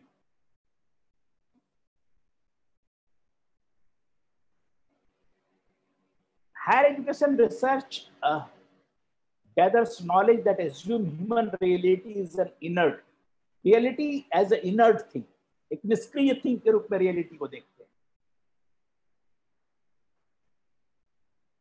The main aim of higher education is to find ways for managing or fixing numerous conflicts and contradictions in social organization of higher education or higher learning by policy planners and administrators. I have earlier also told you, I told you um, earlier too, that main aim of higher education research is find uh, that ways to manage or ways to fix conflicts and contradiction into the social organization. Social organisation of higher education sorry sir माफ़ कीजिएगा थोड़ा सा मैं sir interrupt करना चाह रहा हूँ हमारे स्टूडेंट्स बहुत सारे जुड़े हुए हैं तो जो हिंदी माध्यम वाले हैं वो थोड़ा सा हमें मैसेज और फ़ोन करके बता रहे हैं सर सर से अनुरोध करके थोड़ा सा हिंदी और अंग्रेज़ी मिला करके चले तो ज़्यादा अच्छा जी जी धन्यवाद सर। जी जैसा कि हम पहले भी कह चुके हैं कि हायर एजुकेशन रिसर्च जो है उसमें जो वो जो वो जो तरीका तलाशता है वो क्या करता है कि वो वो ये कोशिश करता है कि how to manage numerous conflict and contract system के अंदर हायर एजुकेशन एक सोशल ऑर्गेनाइजेशन है आप जानते हैं। इसके अंदर जो जो कंफ्लिक्ट है या जो कंट्राडिक्शन है उसको कैसे फिक्स किया जाएगा? या कैसे उसको मैनेज किया जाएगा? इस पर वो ज़्यादा फोकस करते हैं। और बेसिकली वो फोकस जो है वो from the perspective of policy planners and administrators not that they wanted to to to to uh, uh, to to uh, to recognize the system in a way that something will come out of it. They will deal with the knowledge. Human beings, what they feel, they, they, they, they interact with the environment and they are the active, they're actors. So this interaction is not tact. And that interaction will create the domain of knowledge. That may be useful for, uh, for us, for, for any of us. It is not that there is a set path, there is student politics or there is disturbance of the institutions and how to manage the disturbance. First thing is that why this disturbance? Why the people are operating in the environment that has created this environment? That operation, nature of that conflict, that conflict is a valid thing. That conflict is a is, is a consequence of the relation. जो जो university के नियंता हैं या higher education के जो नियंता हैं और और जो स्टूडेंट्स हैं उनके बीच क्या रिलेशनशिप है वो रिलेशनशिप कैसा है क्या उसी रिलेशनशिप से ये कॉन्फ्लिक्ट तो मैनेज नहीं किया है तो एनवायरमेंट में जो ये रिलेशनशिप है इसको देखने के बजाय हम ये देखते हैं कि इस जो जो डिस्टरबेंस हुआ, उस डिस्टरबेंस को किस तरह मैनेज करेंगे? इस पर हम ज़्यादा फोकस करते हैं। तो these are epistemological issues must be addressed when you work in higher education when you tackle higher education when you conduct higher education research और रिसर्च ऑन हायर एजुकेशन और issues of the higher education दूसरा क्या है कि ontological concept of majority of researchers in higher education is that now come to the ontological concept social relations within institutions are externally transformed by scientific policy and managerial elites who possess special knowledge about social reality of higher education, existing hierarchies and patterns. अब ये देखिए social relations जो institution के अंदर हैं वो बाहर से ट्रांसफॉर्म होते हैं जैसे हमने कहा कि अगर कोई घटना परिघटना होती है तो उसमें जो एक्टर्स हैं डिफरेंट हरारकी पर जो लोग हैं वो एनवायरमेंट में किस तरह ऑपरेट करते हैं ये नहीं हो करके ये सोशल रिलेशंस जो हैं संस्था के अंदर का जो सामाजिक संबंध है वो बाहर से तय होता है। वो बाहर के फोर्सेस से ट्रांसफॉर्म होता है। और ये फोर्सेस कौन है? ये फोर्सेस है scientific policy and managerial elites जिनका की यूनिवर्सिटी में वर्चस्व है, जिन, जो ताकत है, जो यूनिवर्सिटी को ट्रांसफॉर्म करने की का मादा रखते हैं। और ऐसा लगता है मतलब ये एक सेट ऑफ़ जमसन इस तरह का विश्वास कराया जाता है कि वो स्पेशल नॉलेज पजेस करते हैं। सोशल रियलिटी के बारे में उनके पास स्पेशल नॉलेज है। तो ये जो है कि रियलिटी ऑफ़ नॉलेज इस पर देखना है कि वो स्पेशल नॉलेज उनके पास क्या है। ये कैसे हो सकता है कि किसी खास समूह के पास स्पेशल नॉलेज है जो दूसरे के पास नहीं है। क्योंकि नॉलेज या तो पॉजिटिविस्ट तरीके से आप निकालते हैं, या फिर आप इंटरप्रेटिव तरीके से निकालते हैं। एक ऑब्जेक्टिव है, दूसरा सब्जेक्टिव है। तो ऐसा तो नहीं है जो सब्जेक्टिव नॉलेज है, उसमें कुछ ही लोगों का वर्चस्व है।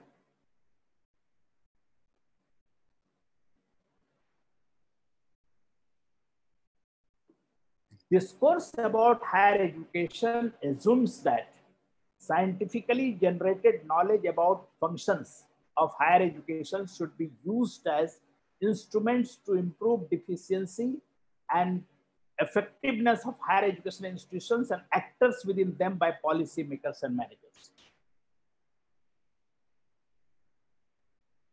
Discourse to higher education में वो कहता है it should be scientifically generated knowledge. जो नॉलेज आप क्रिएट करते हैं, वो scientifically knowledge generated knowledge we we use some scientific method आप साइंटिफिक मेथड का प्रयोग करते हैं और उससे नॉलेज जनरेट करते हैं। आप जो इंस्ट्रूमेंट्स यूज़ करते हैं, वो मदद करता है। तो आप नॉलेज क्रिएट करते हैं, जो भी इंस्ट्रूमेंट आपका है, वो यूनिवर्सिटी के एफिशिएंसी को बढ़ाने में मदद करता है।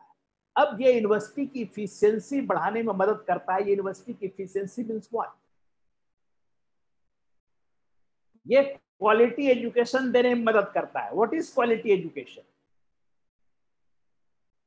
अगर उस विद्यालय में सभी बच्चे या किसी लेवल पर सभी स्टूडेंट्स 80 परसेंट या उससे अधिक मार्क्स ला करके पास कर जाते हैं तो क्वालिटी इंस्टीट्यूशन है। Is it quality education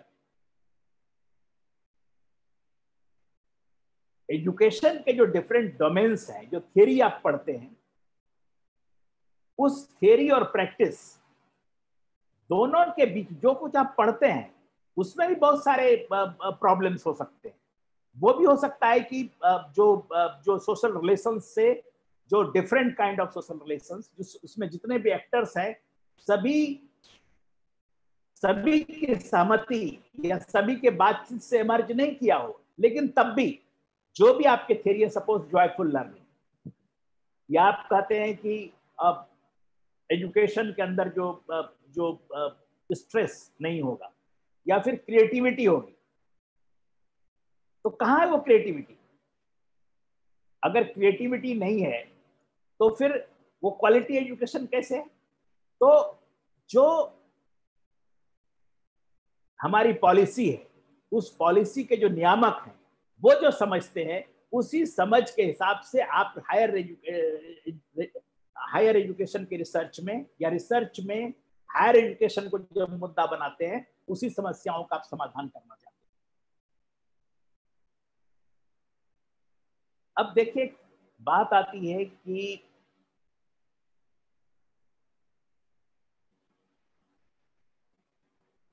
जो एजम्पन्स अभी तक हमने देखा है तो जो एबब एजम्पन्स और मैथोलॉजिकल अप्रोचेस जो हमारे मैथोलॉजिकल अप्रोचेस अभी तक के जिसको आप जानते हैं हम जानते हैं, जो हमारा डोमिनेंट अप्रोच है, जो मेथड्स आप पढ़ते हैं हम पढ़ते हैं, उसकी दो बातें मुख्य है। सोशल इंक्वायरी जो है that seeks to establish an identity between thought and object हम थॉट विचारों और ऑब्जेक्ट के बीच में एक परिचय तैयार करते हैं identity between the two subject को हम नहीं लेते, हम थॉट एंड ऑब्जेक्ट जब हम पॉजिटिविस्ट व्यू को लेते हैं तो everything is taken as an object क्योंकि ये तो साइंटिफिक ये तो ये तो फ़िज़िकल साइंस की तरह बिहेव करता है. There is set of rules and we come to certain conclusion. Knowledge is quite objective, researcher is neutral. और दूसरा है कि goal of inquiry into higher education external transformation social relations by goal जो higher education का वो external transformation तो बाह्य रूप से जो है परिवर्तन करना है इंस्टीट्यूशन ये हमारा गोल है। कोई भी रिसर्च हम करते हैं हायर एजुकेशन पर हम सलाह देते हैं सजेशंस देते हैं। In light of the findings जो हमको फाइंडिंग मिलता है, उसके लाइफ में हम सलाह देते हैं कि इस तरह से चेंज किया जा सकता है। तो ये जो है इंक्वायरी जो हमारा हायर एजुकेशन में है, वो एक्सटर्नल ट्रांसफॉर्मेशन है ऑफ़ सोशल रिलेशन हमारा जो सोशल रिलेशंस है सोशल रिलेशंस मीन्स यहाँ पर विश्वविद्यालय या हायर एजुकेशन संस्थानों के बीच में जो सामाजिक संबंध है, उसका जो बदलाव है उसके बदलाव पर हम जो है फोकस करते हैं। और इस बदलाव का आधार कौन होता है? वो एलिट्स होते हैं। वो एडमिनिस्ट्रेटर्स हैं, वो मैनेजमेंट है, या फिर जो भी आप एलिट समझते हैं, जो कि किसी डिसीज़न को इन्फ्लुएंस करने की सबसे ज़्यादा ताकत रखता है। लेकिन अगर हम ह्यूमन फ्रीडम की बात करें फिलॉसफी ऑफ़ लिबरेशन की बात करें। That can be understood as self conscious self determination and human freedom is the goal of inquiry into social relations and their knowledge process.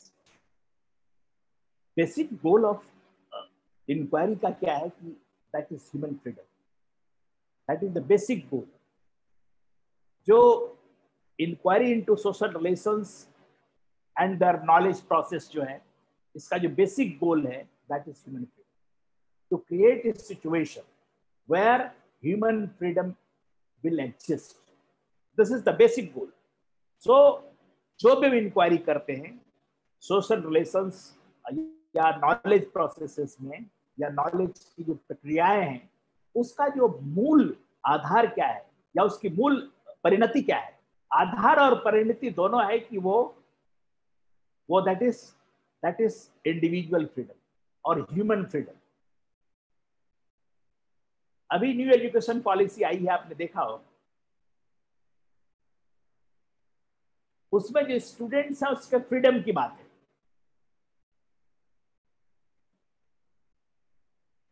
तो ये मैं नहीं कह रहा हूँ ये पॉलिसी जो है ये आ, ये ये जो जिस डिस्कशन को हम सामने ला रहे हैं उसको रख के बनाई गई है। नहीं उसमें भी वो सारे सारे जो क्रिटिसिज्म किए जा सकते हैं, जो कि हमारे मेथोडोलॉजी के किए जा रहे हैं। लेकिन बात यह है कि जब आप रिसर्च कंडक्ट करते हैं तो रिसर्च कंडक्ट का कंडक्शन का गोल क्या है? What is the basic goal what you will explore in the process the exploration का जो बेसिक पर्पस है दैट इज़ ह्यूमन फ्रीडम जो आपके दो फॉर्म ऑफ़ बेसिक रिसर्च है, जो दो पैराडाइम है, एक तो पॉजिटिविस्ट है दूसरा जो है इंटरप्रेटिव है। एक जो है कि structure of pattern and patterns पर फोकस करता है, दूसरा जो मीनिंग सोशल मीनिंग या प्रोसेस और डायनेमिक्स पर फ़ंक्शन करता है। और एक क्वांटिटिव है, दूसरा क्वालिटेटिव आप जानते हैं पॉजिटिविस्ट मेथड जो है बेसिकली क्वांटिटिव अगर आप एक एक्सपेरिमेंटल रिसर्च कर रहे हैं, और एक्सपेरिमेंटल रिसर्च में कोई स्टेटिस्टिक्स लगा करके आपने बता दिया दिस मेथड इज़ इफ़ेक्टिव तो we get a quantitative result T test का, या फिर जो किसी और टेस्ट का प्रयोग करते हैं, या को एनालिसिस ऑफ़ वेरिएंस का इस्तेमाल करते हैं। और हम ये बताते हैं कि नहीं, ये देखिए this method is more effective उसका रीज़न बताते हैं कि इसका मीन ज़्यादा है तो वो क्वांटिटी दूसरा है कि अगर हम किसी इंस्टीट्यूशन का प्रोसेस रिवील करते हैं इंस्टीट्यूशन किस तरह काम करता है तो ज़ाहिर है उसके एक्टर्स से हम समझते हैं, उसके एक्टर्स से हम डेटा कलेक्शन करते हैं और फाइनली हम किसी मीनिंग पर पहुँचते हैं। ये प्रोसेस इस तरह है। अब ये जो मीनिंग है जो कि फेनोमेनोलॉजी सिंबॉलिक इंटरेक्शनिज्म देता है और जो कि क्वांटिटिव रिज़ल्ट जो कि हमको पॉजिटिविस्ट देता है, जिसको हम scientific method of inquiry modern scientific method of inquiry कहते हैं, जो हम नॉर्मली इस्तेमाल करते हैं, जिसमें प्रॉब्लम होता है हाइपोथेसिस होता है डेटा कलेक्शन एंड फिर सॉल्यूशन होता है एनालिसिस एंड सॉल्यूशन होता है। ये दोनों जो है ये दोनों पर सवाल खड़ा है। ऐसा नहीं है कि जो इंटरेक्टिव या जो फेनोमेनोलॉजी है, या जो इंटरप्रिटिज्म है, या क्वालिटेटिव मेथड है, जो गुणात्मक है, या संख्यात्मक है, दोनों पर प्रश्न खड़ा है। आप ये मत समझिए कि गुणात्मक में जो हमारे एक्टर्स हैं, वो अपनी राय देते हैं। और उस राय के आधार पर लॉजिकली हम किसी कंक्लूजन पर पहुँचते लेकिन ये राय जो उनकी है, ये राय में ही तो प्रॉब्लम है। उनके पास जो ज्ञान है, वो इस तरह समझते हैं कि जो कुछ समाज में हो रहा है, उनकी, उनका जो है वो एक तरह से, क्या कहते हैं उसको, एक निष्क्रिय पात्र है, सब कुछ वहाँ जमा हो रहा है। और उसके बारे में बताते हैं, ये ऐसा हुआ, वैसा हुआ, इस तरह हुआ। लेकिन उनका इन्वॉल्वमेंट एनवायरमेंट में कितना? वो क्या एनवायरमेंट को मैन्यूवर कर पाते हैं? उनकी वजह से एनवायरमेंट में कोई चेंज हुआ है? उनका रिलेशन दूसरे सेगमेंट के साथ कैसा था? ये कहीं नहीं दिखता है। और अगर दिखता भी है कहीं तो वो डोमिनेंट नहीं। That should be the dominant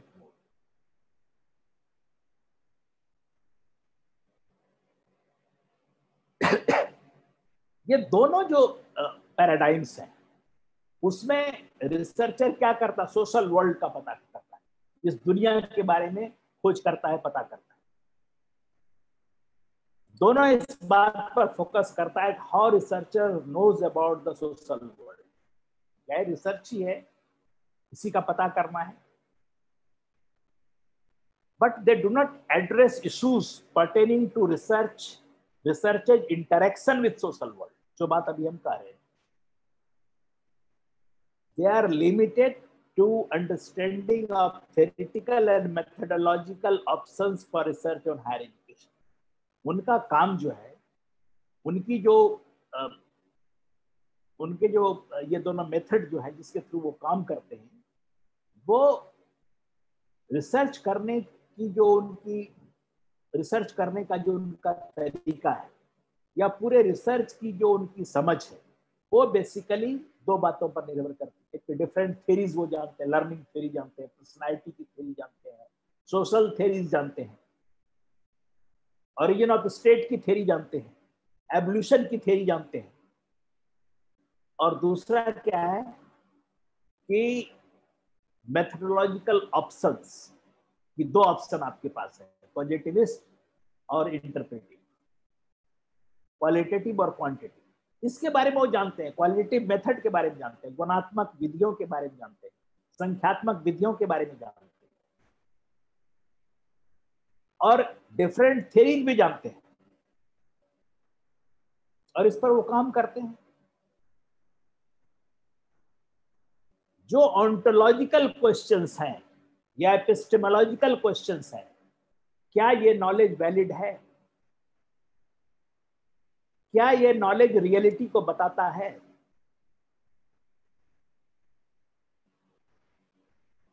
जो आपने अंतर संबंध ढूंढे हैं, उसमें जो एक्टर्स हैं, उनका एनवायरमेंट के साथ क्या लेना देना है?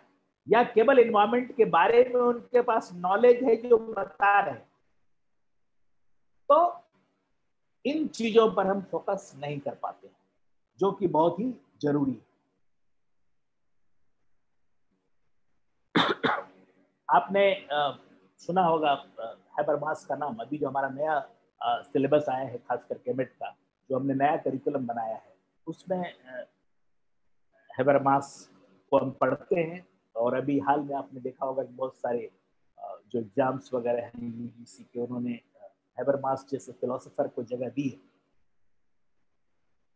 तो according to Habermas when researchers adopt a theoretical perspective और methodological approach they must ask the following question उनको ये सवाल ज़रूर पूछना चाहिए। अगर वो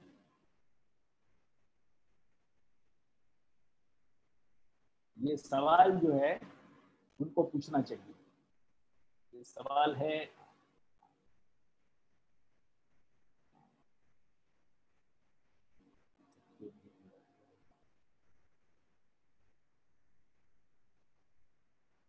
ये सवाल है। ये सवाल उनको पूछना बहुत ज़रूरी है। जब ये सवाल पूछेंगे, तभी ये बात पता चल पाएगी कि ये जो मेथड्स हैं हमारे, ये मेथड्स से जो हम नॉलेज प्राप्त करते हैं, वो कितना वैलिड है। अंतर संबंधों को बताने में कितना सक्षम है? तो ये देखिए, ये क्वेश्चंस हैं। पहला है whose interest are serve if this theory और method is situated in the social world इनमें किन का इंटरेस्ट सर्व होता है? जो थियोरी और मेथड आप जानते हैं, उससे किनका इंटरेस्ट सर्व होता है? आपने कभी ये सवाल अपने दिमाग में सोचा है? किससे इनका इंटरेस्ट सर्व सर्व होगा? जो आप, आपने जो जो जो आंसर ढूंढा अपने रिसर्च में, उससे किसका इंटरेस्ट सर्व होगा? नॉलेज इट सेल्फ का कोई कोई कोई पर्पस सॉल्व होगा? या फिर किसी ग्रुप का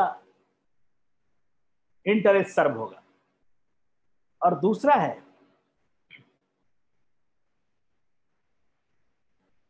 theoretical perspective and social research strategies are not politically neutral but have impact on social life in terms of linking sorry liking and disliking जिसको कहते हैं लेजिटिमेट या लेजिटिमेटाइजेशन और criticism for social practice and study जो हमारे सामाजिक परिप्रेक्ष्य हैं जो सैद्धांतिक परिप्रेक्ष्य हैं हमारे या फिर जो सामाजिक शोध की रणनीति है। ये राजनीतिक या सामाजिक रूप से उदासीन या न्यूट्रल नहीं है, बल्कि उसका प्रभाव सामाजिक जीवन पर इस प्रकार होता है कि वे अध्ययन में लिए गए सामाजिक रीतियों की प्रशंसा या आलोचना में विश्वास करें आप अगर कोई इशू लेते हैं तो आप एकदम ईमानदारी से इस बात को देखिए कि जिन सामाजिक मुद्दे को या किसी विश्वविद्यालय या शिक्षा के मुद्दे को आपने रिसर्च के लिए लिया है, और उसमें जो जिन रीति रिवाजों या जिस जिस संबंधों का आप अध्ययन करते हैं, क्या उसके बारे में आपकी कोई राय नहीं है? उसके बारे में रिसर्चर की राय होती है, या तो वो लाइक करते हैं उसको या डिसलाइक करते हैं। Nothing is neutral as a researcher आपका अगर आपने एक मेथड क्रिएट किया है तो आपकी राय है कि हमारा मेथड दूसरे मेथड से बेहतर है। हम इसको स्टडी करके देखें। लेकिन आपकी राय है अगर केरला शास्त्र साहित्य परिषद एक एक सोशल मूवमेंट एक एक एक, एक साइंस मूवमेंट है विज्ञान जन विज्ञान आंदोलन है यह आंदोलन लोगों को साइंस के बारे में जागरूक करता है। साइंस के लिटरेचर्स लोगों के पास पहुंचाता है। साइंस के यूज़ और मिसयूज के बारे में लोगों का अवेयर करता है। लेकिन यह साफ़ साफ़ कहता है कि we are inclined towards marginal class हम मार्जिनल क्लास के पक्ष में, वो पहले से बोल रहा है।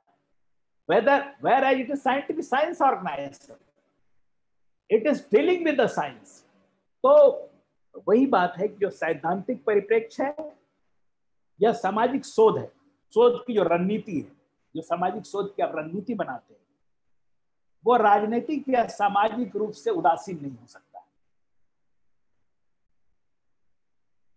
आप ऑनेस्टली ऑनेस्टली इस चीज़ को, आपको बताया गया है कि उदासीन है, लेकिन आप सोचिए, क्या ये उदासीन हो सकता है राजनीतिक रूप से?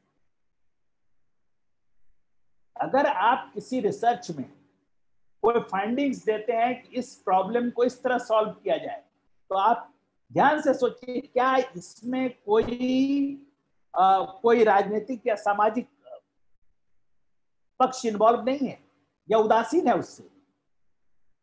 बल्कि उसका प्रभाव सामाजिक जीवन पर इस प्रकार होता है कि वे अध्ययन में लिए गए सामाजिक रीतियों की प्रशंसा या आलोचना में विश्वास रखते ये बात बहुत इंपॉर्टेंट है और इस पर हमको ध्यान देने की ज़रूरत है। और खास करके इन्हीं सब मुद्दों को उभारने के लिए आ, मैंने ये व्याख्यान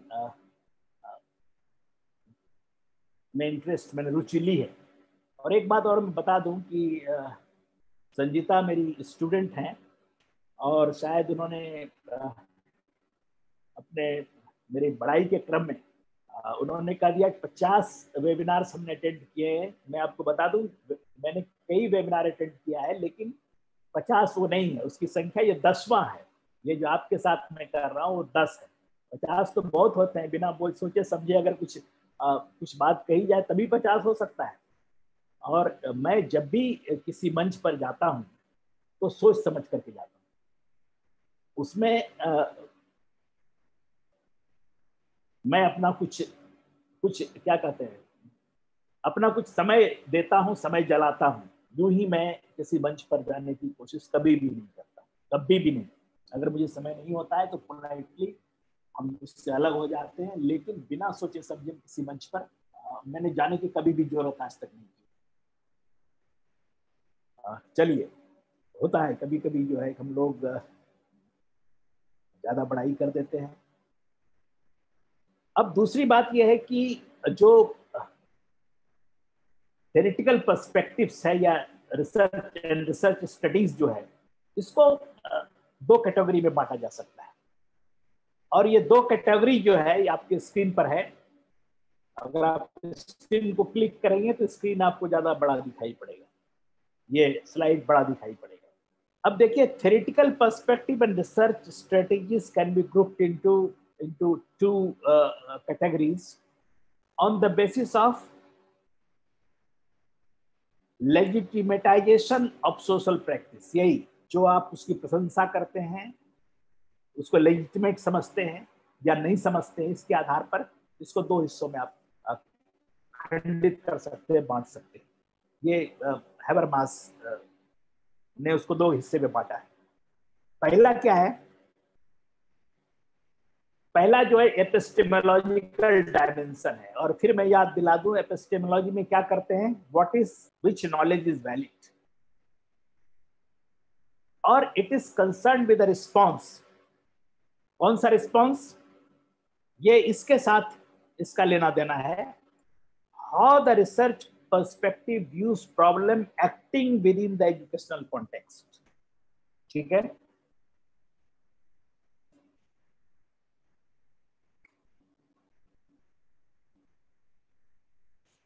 शोध के लिए लिया गया परिप्रेक्ष्य, किसी शैक्षिक संदर्भ में किस तरह काम कर रहे लोगों को किस प्रकार देखता है? How the research perspective views people acting within an educational context किसी सामाजिक संदर्भ में जो लोग काम कर रहे हैं, वो रिसर्च के परिप्रेक्ष्य में किस तरह देखे जाते हैं? या यूँ कहिए कि रिसर्च का जो परिप्रेक्ष्य है शोध के लिए, शोध के लिए लिया गया परिप्रेक्ष्य किसी शैक्षिक संदर्भ में काम करने, कर रहे लोगों को किस प्रकार देखता है? एक एक तो ये है। पहला ये है कि शोध के परिप्रेक्ष्य में जो काम कर रहे हैं, किसी शैक्षिक संदर्भ में जो काम कर रहे हैं, इन प्रकार के लोगों को शोध परिप्रेक्ष्य, शोध के लिए लिया गया परिप्रेक्ष्य। शोध में आप कोई कॉन्टेक्स्ट लेते हैं, कोई परिप्रेक्ष्य लेते हैं। वो काम कर रहे लोगों को किस प्रकार देखता है? परिप्रेक्ष्य में वो लोग कैसे देखे जाते हैं जो काम कर रहे हैं? और दूसरा है are people and their social relations understood as passive receptacles of the external stimuli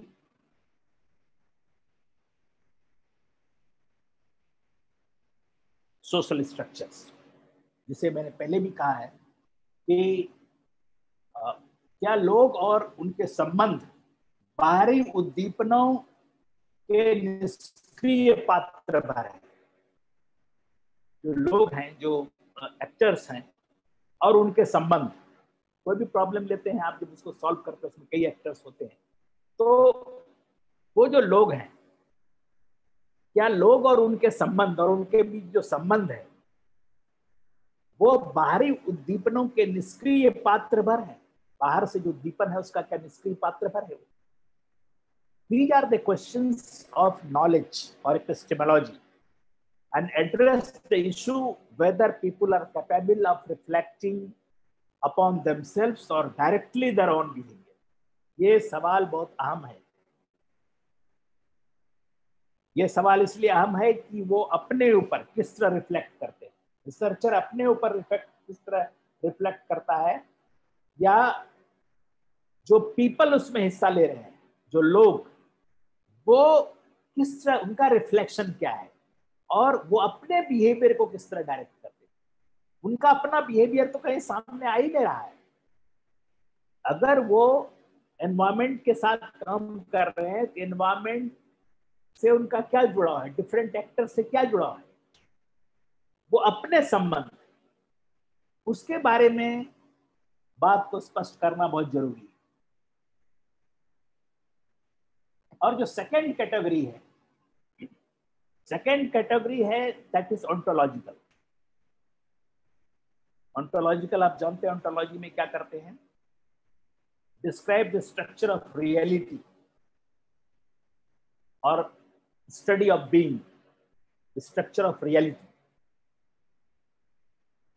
तो इसमें it is concern with how the theoretical perspective and methodological approach view its own relationship with the object of analysis. जो object of analysis है, जो object है, क्योंकि हम तो society को ऑब्जेक्ट के रूप में ले रहे हैं सब्जेक्ट के रूप में तो ले नहीं रहे हैं। यहाँ तक कि जब इंटरप्रेटिव जो है वो लोगों को मानता है कि पैसिव रिसेप्टिकल है इंफॉर्मेशन का। तो इसीलिए ये कह सकते हैं ये मेथोडोलॉजी जो है view its relationship with the object of analysis कैसे? How the theoretical perspective and methodological approach view its own relationship with the object of analysis and the basic question is There are two questions, two more questions are raised. Basic question is whether perspective understanding itself neutral toward towards and detached from the social world.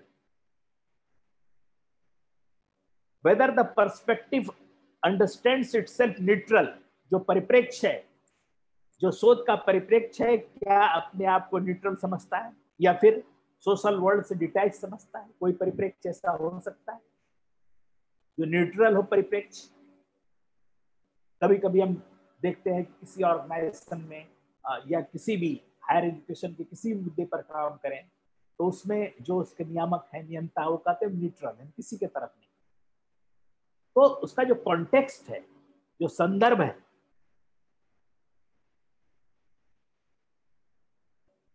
whether the perspective understand itself neutral towards and detached from the social world or it understand itself engaged in interactive relationship with the social world या अपने आप को isolated समझता है detach समझता है या उसके साथ वो रिलेशनशिप में इंटर इंटरेक्टिव रिलेशनशिप है उसका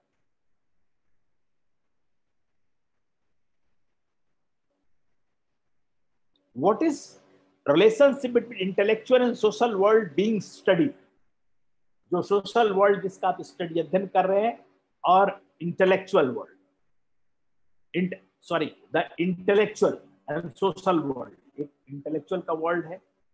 ये इंटेलेक्चुअल्स बेसिकली इंटेलेक्चुअल एलिट्स है। और जो सोशल वर्ल्ड है इसके बीच का रिलेशनशिप क्या है? तो ये सब प्रश्न है।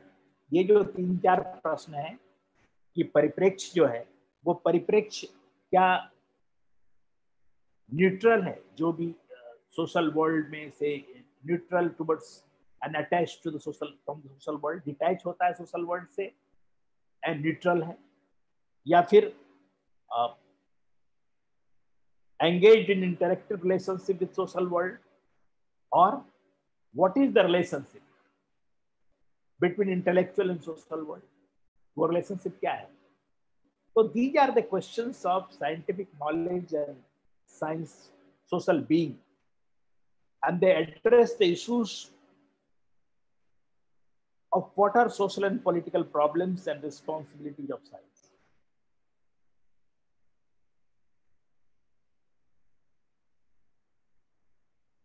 So One thing uh, now I would like to discuss that.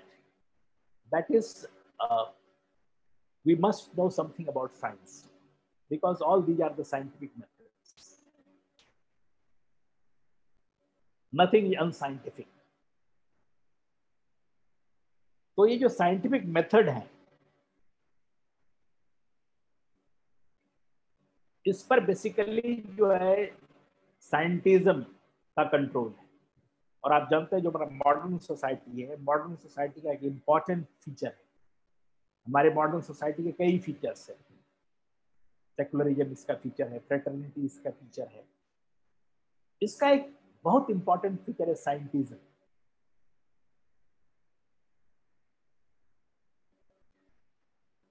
इस साइंटिज्म को भी समझ लेना चाहिए। ये साइंटिज्म जो है, ये इंपेरिसिस्ट है। शुरू में हमने कहा है कि इसमें एम्पेरिकल एविडेंस चाहिए।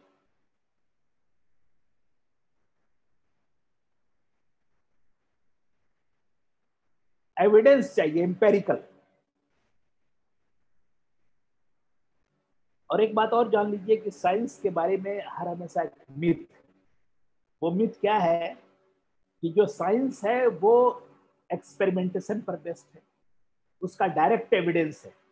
There is direct evidence of science scientific knowledge ऐसा नहीं है।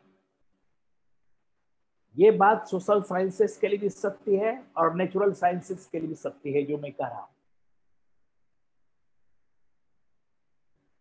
डायरेक्ट एविडेंस जो है, एक मिनिस्कुल प्रपोर्स ऑफ़ नॉलेज है। ज्ञान का एक बहुत ही अत्यंत सूक्ष्म हिस्सा है, जिसका डायरेक्ट एविडेंस मौजूद है। ठीक है? बाकी जितने हैं, सब लॉजिक पर चल रहे we have logical conclusion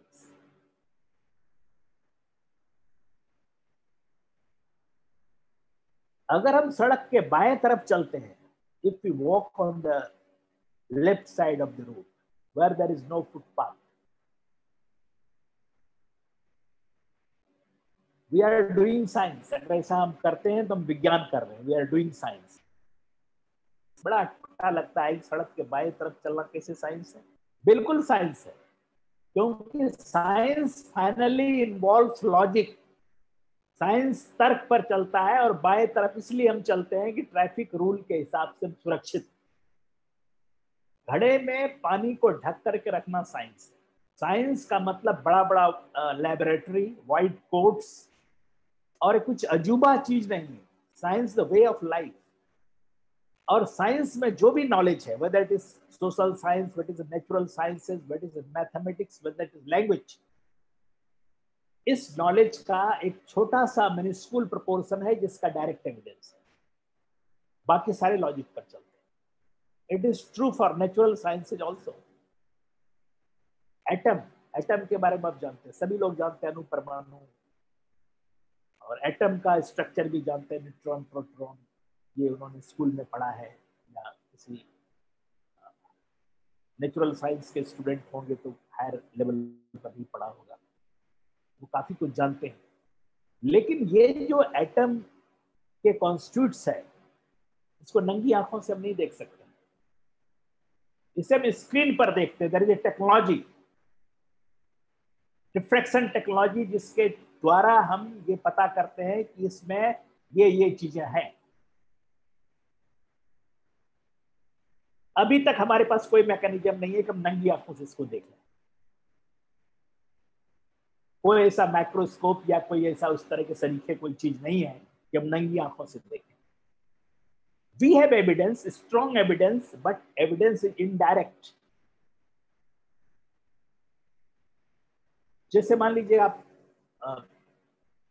theory of evolution विकासवाद का सिद्धांत। अभी आप डार्विन को जानते हैं डार्विन एक पैराडाइम है। डार्विन विकासवाद को सबसे अच्छा एक्सप्लेन करता है। डार्विन के पहले कौन था?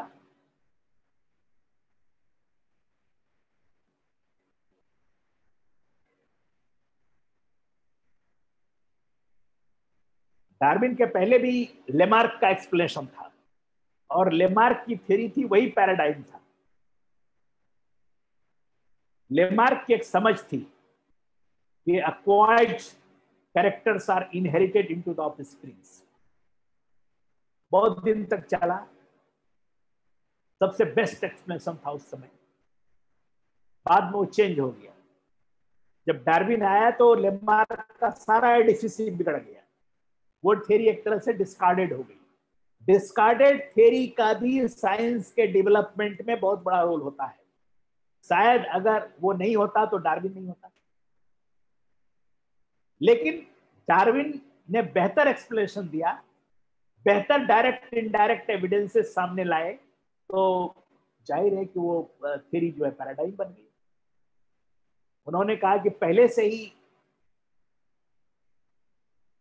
लंबी गर्दन वाले जिराफ मौजूद थे एनवायरमेंट में, लेकिन एनवायरमेंट लंबी गर्दन वाले जिराफ के अनुकूल नहीं था, इसलिए लंबी गर्दन वाले जिराफ की जनसंख्या बहुत कम थी। And when the situation become became favourable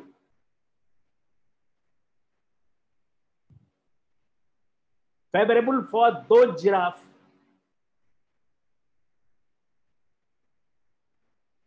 for the long neck giraffe नीचे का वेजिटेशन खत्म हो गया situation became favourable for for for for दो जिराफ जिनकी गर्दन लंबी थी।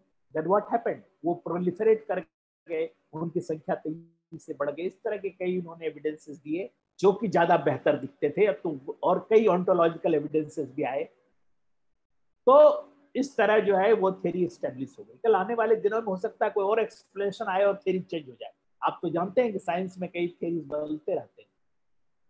थेरी साइंस का हाईएस्ट मकाम है हाईएस्ट फॉर्म है, जो कि किसी फेनोमेनन को एक्सप्लेन करता है keeps on changing in light of the evidences direct evidence और लॉज जिसका जो बिल्कुल एक्सपेरिमेंटल होता है, जब एविडेंसेस आते जाते हैं, चीज़ें बदलती जाती तो ये है साइंस साइंस की समझ।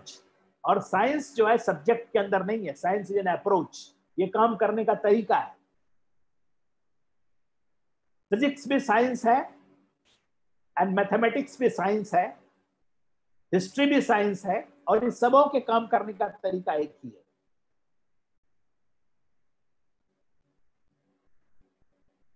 सभी में जो नॉलेज की अधिकता है, जो नॉलेज का एक बड़ा भंडार है वो लॉजिक पर टिका हुआ एविडेंसेस पर बहुत कम टिका हुआ डायरेक्ट एविडेंस पर। अगर हड़प्पन सिविलाइजेशन का हम पता लगाते हैं, उसके लिए हमारे पास डायरेक्ट एविडेंस है। कल कोई डायरेक्ट ऐसा एविडेंस आ जाए कि उस एविडेंस से ज़्यादा बेहतर हो तो उस तरह की बात हम करने लगेंगे। We strive for direct evidence direct evidence हम खोजते रहते हैं, लेकिन सभी का डायरेक्ट एविडेंस नहीं इसलिए साइंस के बारे में जो मिथ्स है, उसको दूर करना बहुत ज़रूरी है because we are talking of scientific methods research paradigm that is that is basically that is basically scientific methods even we talk of interpretive that is also science उसका भी एक तौर तरीका काम करने का है। पॉजिटिविज्म में भी काम करने का तरीका है। तो science is an approach just an approach through which gain knowledge और through which we conduct certain actions so so, science के बारे में थोड़ी समझ ज़रूरी थी। और जो हमारा साइंटिज्म है जो कंट्रोल कर रहा है हमारे पूरी प्रक्रियाओं को रिसर्च की प्रक्रियाओं को वो जो है उसमें जो अधिकता जो है वो पॉजिटिविस्ट एपिस्टेमोलॉजी का है। एंड जो क्वांटिटिव प्रपोजिशन है क्वांटिटिव प्रेसिजन के साथ हम चीज़ों को सामने लाते हैं, जैसे नेचुरल साइंसेज में लाते हैं। ये general laws prediction and control of behaviour से रिलेटेड है। कंट्रोल ऑफ़ बिहेवियर कर सकते हैं। आप एक्सपेरिमेंट करते हैं एजुकेशन में। आप दो ग्रुप को लेते हैं कंट्रोल करते हैं सिचुएशन जैसे लैब में नेचुरल साइंसेज वाले करते हैं, उस तरह आप भी आप भी कंट्रोल करते हैं। आपके कंट्रोलिंग का टेक्निक अलग है, लेकिन you control the situation control the environment लेकिन एक बात बहुत इसमें इंपॉर्टेंट है साइंटिज्म में। कि साइंटिज्म ये समझता है कि it is socially and politically neutral ये तो सही है।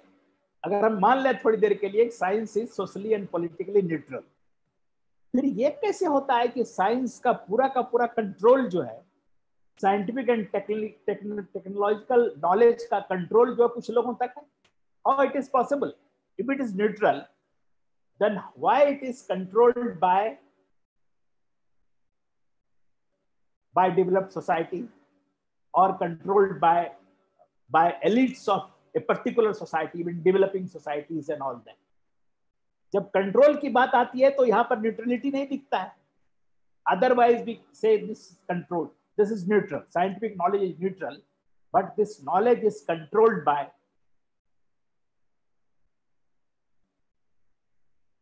controlled by elites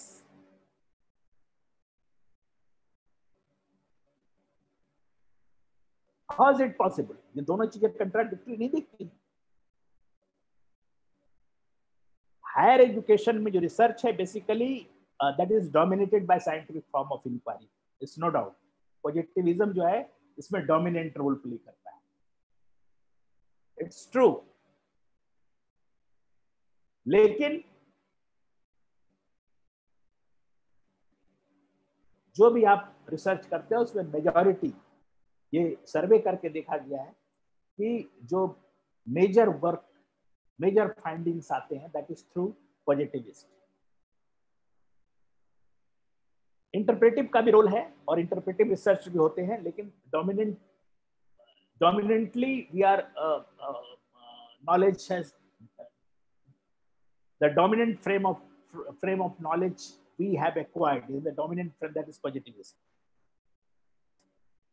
interpretive inquiry जो है, जैसे हमने पहले भी कहा है that is concerned with the process of social construction of everyday life. Social construction. We try to uh, construct the everyday life. लेकिन आप याद रखिएगा in this construction जिनसे आप इंफॉर्मेशन लेते हैं उनके पास जो इंफॉर्मेशन है दैट इज़ पैसिव उनके पास जो इंफॉर्मेशन है, एक पात्र है, वो एक पात्र निष्क्रिय पात्र है। वहाँ एक्सटर्नल स्टिमुली ने कंट्रोल से जो बातें बनती है एक्सटर्नल स्टिमुली के ज़रिए जो चीज़ें, घटना घटती हैं, उसका मात्र वहाँ पर इंफॉर्मेशन भर है। ये बात याद रखिएगा। लेकिन यहाँ पर क्या है कि construct it is social construction of everyday life यहाँ पर सोशल कंस्ट्रक्शन करते हैं। ये सोशल एंड कल्चरल लाइफ का अंडरस्टैंडिंग देता है सोशोलॉजी में हम काम करते हैं, कल्चर पर काम करते हैं, सोशल चेंज पर काम करते हैं, ट्राइब्स पर काम करते हैं, ट्राइबल कल्चर पर काम करते हैं। तो ये बेसिकली कल्चरल लाइफ के बारे में बताता है। और इसमें सिंबॉलिक इंट्रेक्शनिज्म है फेनोमेनोलॉजी है और पोस्ट मॉडर्न डिस्कोर्स भी। पोस्ट मॉडर्न जो है पोस्ट मॉडर्न पीरियड का फीचर देखिएगा। साइंटिज्म पोस्ट मॉडर्न पीरियड का फीचर नहीं है। मॉडर्न पीरियड का फीचर है scientism acquisition of knowledge through science और scientific method is is a very important feature of of modern period लेकिन पोस्ट मॉडर्न पीरियड का फीचर नहीं है। Scientism is not a feature of post modern period so symbolic interactionism, phenomenology और post modernist discourse में आप interpretation का या interpretive method का यूज़ देख सकते हैं। यहाँ पर ह्यूमनिस्टिक और इंटरप्रेटिव पर्सपेक्टिव से चीज़ों को हम लेते हैं।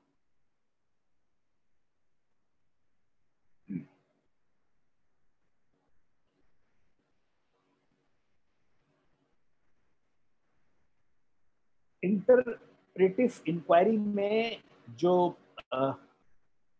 जो नॉलेज का कंस्ट्रक्शन होता है, वो विलफुल एजेंट्स जो चाहते हैं वो इंफॉर्मेशन देते हैं। और उनके इंफॉर्मेशन के लाइट में जो है हम एनवायरमेंट का, जो हमारा एनवायरमेंट है सोशल एनवायरमेंट उसके बारे में हम डिसीज़न लेते हैं। लेकिन एक चीज़ है एपिस्टेमोलॉजिकली तो ये कुछ ठीक दिखता है। वो वैलिड नॉलेज की जब बात करते हैं तो कम से कम हम अलग अलग लोगों से उनकी राय लेते हैं।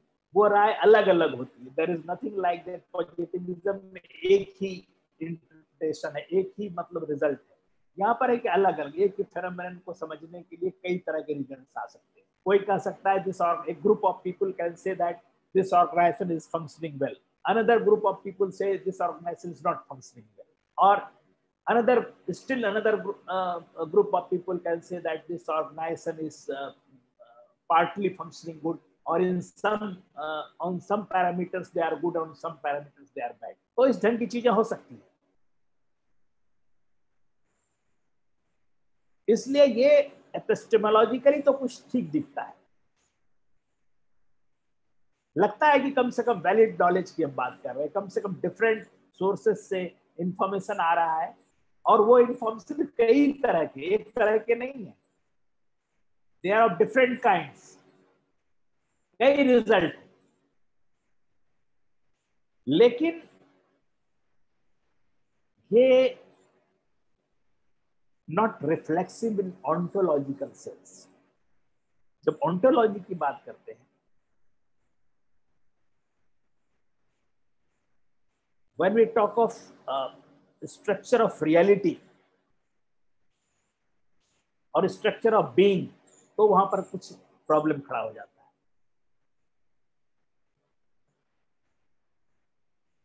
it does not reflect social reality but it merely describes and reflects the social dynamics of higher education higher education dynamics तो बता देता है अगर हायर एजुकेशन रिसर्च कर ले इसके डायनेमिक्स कोई बताता है कि ये ये विभिन्न तरह के डायनेमिक्स हैं, इसके बीच में ये रिलेशन है, इसके बीच में ये रिलेशन है। लेकिन ये जो स्ट्रक्चर ऑफ़ सोशल रियलिटी है, वो इस बात पर आधारित है कि उनके पास जो इंफॉर्मेशन है दैट इज़ पैसिव इंफॉर्मेशन जो इंफॉर्मेशन वो शेयर कर रहे हैं, वो इंफॉर्मेशन एक्टिव इंफॉर्मेशन नहीं है। They don't act upon the environment environment के साथ जो उनका सामंजस्य है या उस एनवायरमेंट के बदलाव में उनका जो उनकी जो भूमिका है, या वो उस उस उस उस उसमें उनका किस तरह का रिलेशनशिप उनकी क्या जगह है, ये नहीं परिलक्षित होता है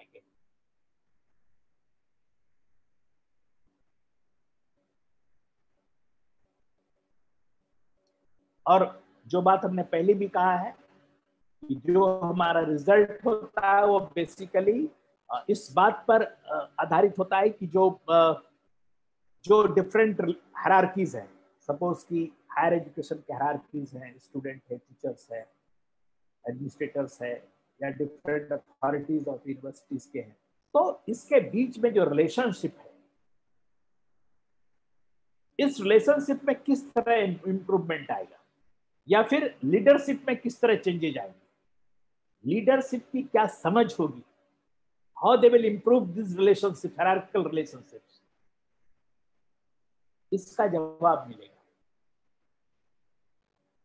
लेकिन they don't seek to transform the relationship between between the leaders and the lay लेकिन वो ट्रांसफॉर्मेशन की बात नहीं करते। How the relationship will be transform वो ये बात करते हैं कि रिलेशनशिप को किस तरह अच्छा बनाया जा सकता है बेहतर बनाया जा सकता है। Relationship is already defined and इस डिफाइंड रिलेशनशिप को कितना बेहतर बनाया जा सकता है रिसर्च के रिपोर्ट में यही होती है।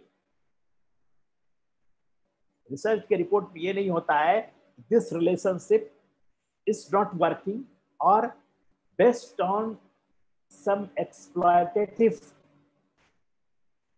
what call uh, there is some uh, what you call uh, uh, there is a need to transform the relationship between leaders and lay ये रिलेशनशिप को ऑल टुगेदर ट्रांसफॉर्म करने की ज़रूरत और ये तभी होगा जबकि एक्टर्स पैसिव रिस्पॉन्स नहीं देंगे एक्टिव रिस्पॉन्स देंगे। एंड एक्टिव रिस्पॉन्स तभी आएगा जबकि एक्टर की भूमिका एनवायरमेंट के अंदर होगी।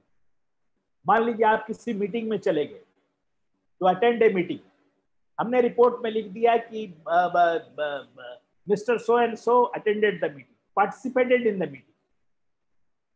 फला साहब ने मीटिंग में शिरकत की।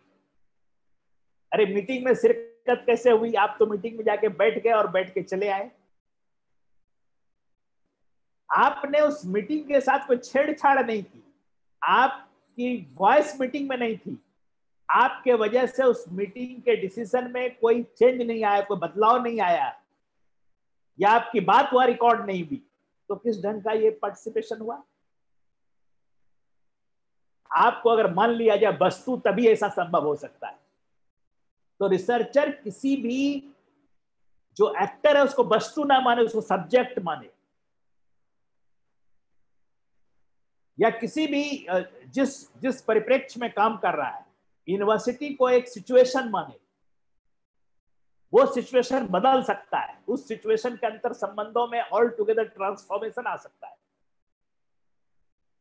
आप तो रिसर्च पढ़ते होंगे, खास करके जो हमारे कंट्रीज़ में या इवन एल्सवेयर जो रिसर्चेज आते हैं, उसमें मेजोरिटी ऑफ़ रिसर्चेज आप देखिए क्या है, यही है।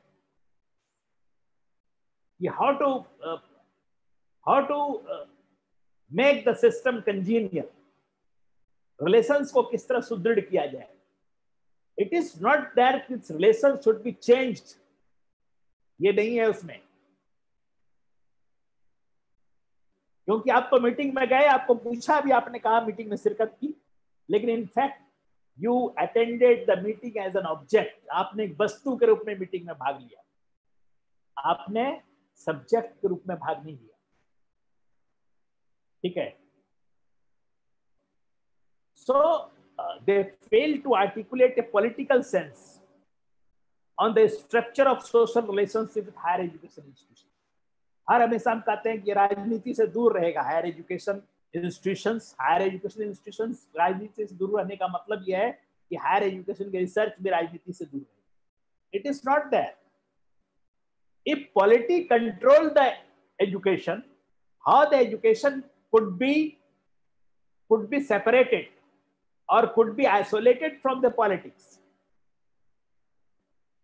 अगर न्यू एजुकेशन पॉलिसी लागू होगी तो it requires lot of political will politics is always involve अगर हम ये कहते हैं कि आ,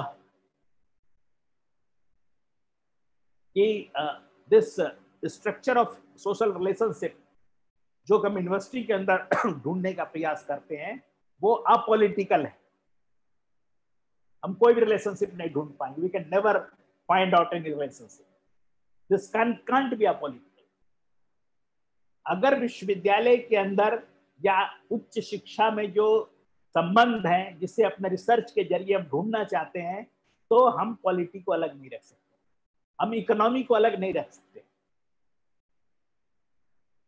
हम वेरियस अदर सिस्टम्स को अलग नहीं रख सकते। अलग नहीं देख सकते इसको। कभी कभी होता है कि स्टूडेंट को कहते हैं, तुम पॉलिटिक्स करते हो। सपोज़ कि आप कोई रिसर्च कर रहे हैं स्टूडेंट स्टूडेंट के किसी इशूज पर या स्टूडेंट के पॉलिटिक्स पर। ढेर सारे काम हैं स्टूडेंट पॉलिटिक्स पर। This is also comes into the frame of education और एक बात आप समझ लीजिए एजुकेशन में रिसर्च का बंदा ये नहीं है कि क्लासरूम ट्रांजेक्शन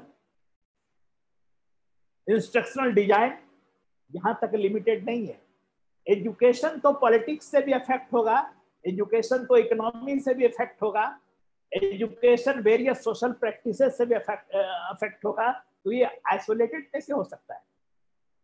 अगर इसको हम आइसोलेटेड रखेंगे तो एजुकेशन से जो प्रोडक्ट तैयार होगा, वो सोसाइटी की तरफ़ कभी झांकेगा ही नहीं।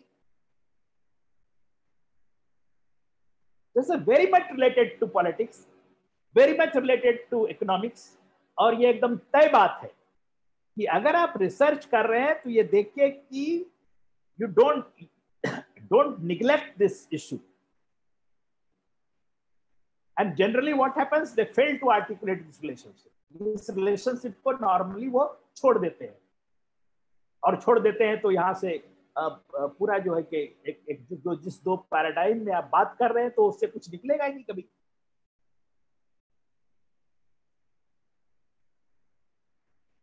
अब ये जो प्रॉब्लम्स हैं इस प्रॉब्लम्स में I think still I time yes इस प्रॉब्लम में आ, आ, जो प्रॉब्लम ने डिस्कस किया दोनों ही अप्रोचेस के साथ दोनों ही हमारा जो पॉजिटिविज्म और इंटरप्रेटिविज्म के साथ। तो आ, इसको स्ट्रेटन कैसे किया जा सकता है? इसको बेहतर बनाने के लिए क्या कोई तरीका है? तो तरीका तो क्रिटिसिज्म में भी निकल रहा था। जब हम क्रिटिसिज्म कर रहे थे, तब भी तरीका दिख रहा था। अगर ये पॉलिटिकल है तो ये पॉलिटिकल होगा। What is the interference of the politics? or how the system could be reformed? तो ये तो वहीं से वो तरीका निकल रहा है। लेकिन फिर भी इसको हम एक, अलग से इस मुद्दा को हम चर्चा करेंगे। कि इसका एक, इस पर एक क्रिटिकल डिस्कशन करेंगे कि जो हमारा पॉजिटिविस्ट या इंटरप्रेटिव मेथडोलॉजी है, जो मेथडोलॉजी हम अभी कर रहे हैं, जो हमारा मॉडर्न साइंटिफिक मेथड है या फेनोमेनोलॉजी है या फिर सिंबॉलिक इंट्रेक्शनिज्म है, ये जो विधियाँ जिसको हम पढ़ते हैं क्रिटिकल अप्रोच जो है इसमें कुछ चेंजेज की बात करता है। इसमें कुछ बदलाव लाया जा सकता है। और वो बदलाव क्या है कि जो वैल्यू न्यूट्रल हम कहते हैं रिसर्च वैल्यू न्यूट्रल होगा या रिसर्चर वैल्यू न्यूट्रल होगा, इसको रिजेक्ट करना पड़ेगा। There is nothing wrong in being value prone हमारा ये वैल्यू है। ये इस बात को रिसर्च को कभी प्रभावित नहीं क्योंकि हम तो पहले बता रहे हैं इस वैल्यू हमारा ये वैल्यू अगर मान लीजिए हम सेकुलरिज्म पर काम कर रहे हैं, हम सेकुलर है ही नहीं तो ज़ाहिर है हम जो रिसर्च करेंगे, वो उसी तरह का होगा। जो इंफॉर्मेशन होगा पैसिव रिसेप्टिकल जो ऐसे पात्र से आएगा, निष्क्रिय पात्र से इंफॉर्मेशन लेकर के हम काम अगर हम ये कहें कि हम सेकुलरिज्म में यकीन नहीं करते अगर इनफैक्ट रिसर्चर नहीं करता है तो there is nothing wrong in accepting it और वो जो रिसर्च करेगा, आखिर उसको मेथड तो चाहिए ही। एक्टिव रिस्पॉन्सेस चाहिए ही। उसके ये मान लेने से रिसर्च नहीं बदल जाएगा। बल्कि इस मान लेने से उस रिसर्च का एक पर्सपेक्टिव होगा, जो उसके पर्सपेक्टिव से लोग देखेंगे। हम हैं, हम सेकुलर है नहीं। हम अपने ऊपर एक सेकुलरिज्म का जामा पहना करके जो है, हम रिसर्च हमने कंडक्ट कर तो हमारा जो पर्सपेक्टिव था my I I myself as a party to this environment इस एनवायरमेंट में मैं जो एक्टर हूँ, हमारी समझ कहाँ चली गई? वॉट हैपन टू मी हमारा भी रिलेशनशिप है सोसाइटी के साथ। रिसर्चर का भी रिलेशनशिप है, उसको आप ताक पर कैसे रख सकते हैं? और दूसरा है कि it affirms dialectic relationship between knowledge and society knowledge and society के बीच में डायलेक्टिक रिलेशनशिप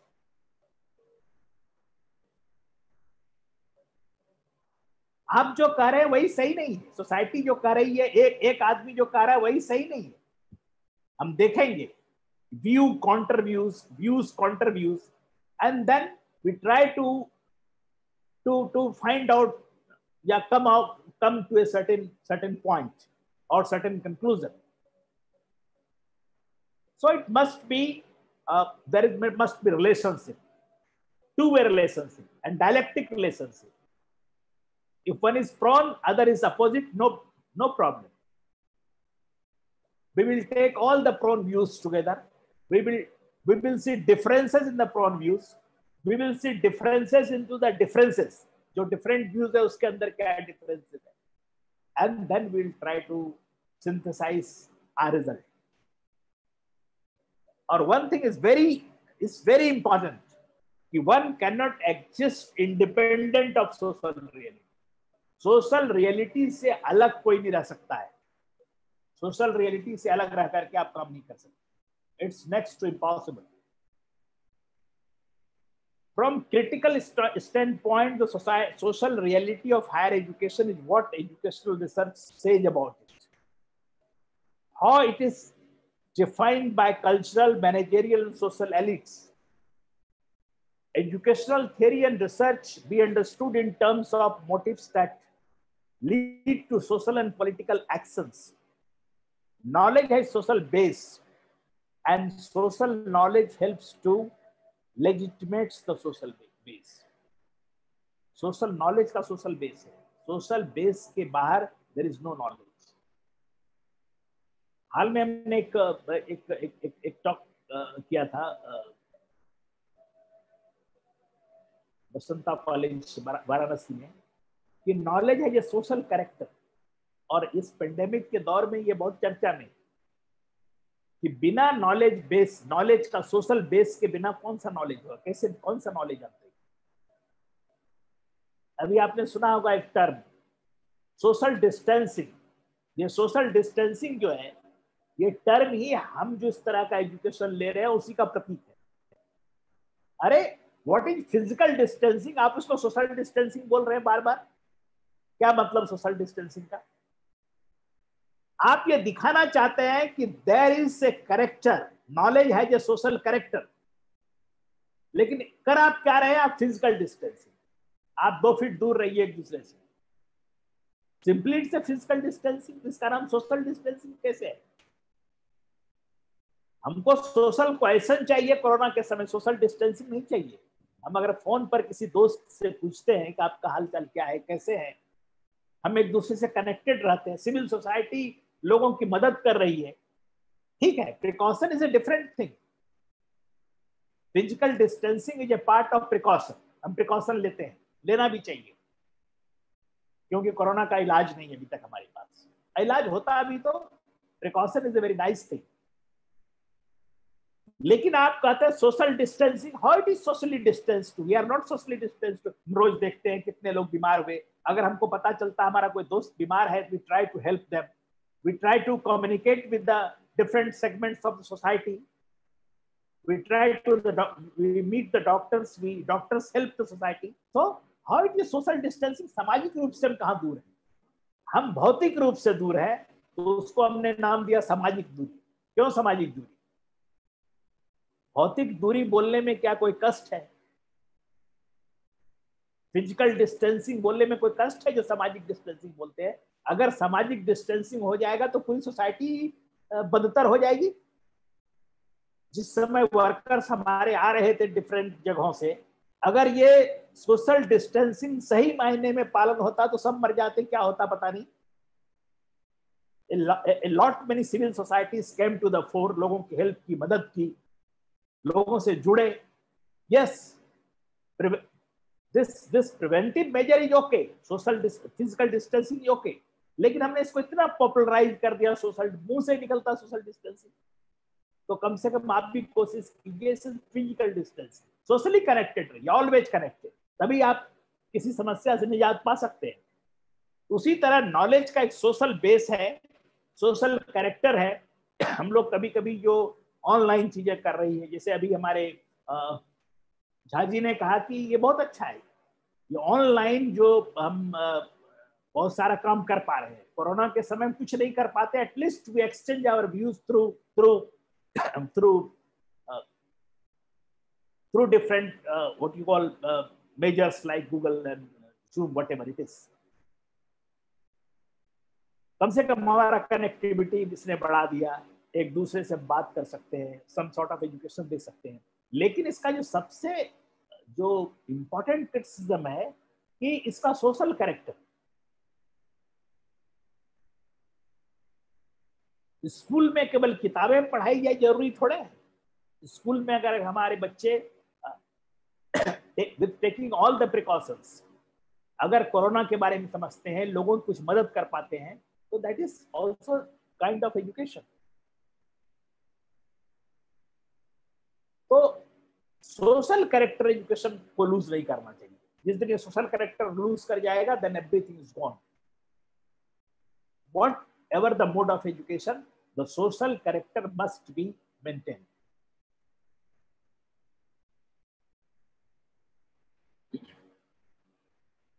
अब ये जो क्रिटिकल फॉर्म ऑफ़ इंक्वायरी है जिसकी हम लोग बात कर रहे हैं कि रिसर्चर uh, अपने को न्यूट्रल डिक्लेयर नहीं करेगा या फिर uh, जो उसका वैल्यू सिस्टम है उसके साथ वो जाएगा। जो हमारा रिसर्च है वो पॉलिटिकल या फिर सोशल या फिर नॉट रिलेटेड टू इकोनॉमी जहाँ जिसकी ज़रूरत है, इससे इसके संबंध बने रहे। एक दूसरे को काट करके रिसर्च नहीं कर सकते। दूसरा है जो रिसर्च होगा, वो नॉलेज डोमिनेशन को रीच करने के लिए होगा। उसमें यह भी हो सकता है कि सिस्टम को ट्रांसफॉर्म करने की ज़रूरत this system is not working this is alternative ये नहीं कि जो बने बनाए सिस्टम्स हैं, उसको किसी तरह हम किस तरह मेंटेन करेंगे या उसमें जो कंफ्लिक्ट है, उसको पैच करेंगे। तो ये सब जो चीज़ें हैं, जो हमारा जो रिसर्च है, वो बेसिकली इसको बहुत लिटिल सपोर्ट ऐसा नहीं कि ऐसे रिसर्च नहीं हो रहे हैं, लेकिन बहुत कम.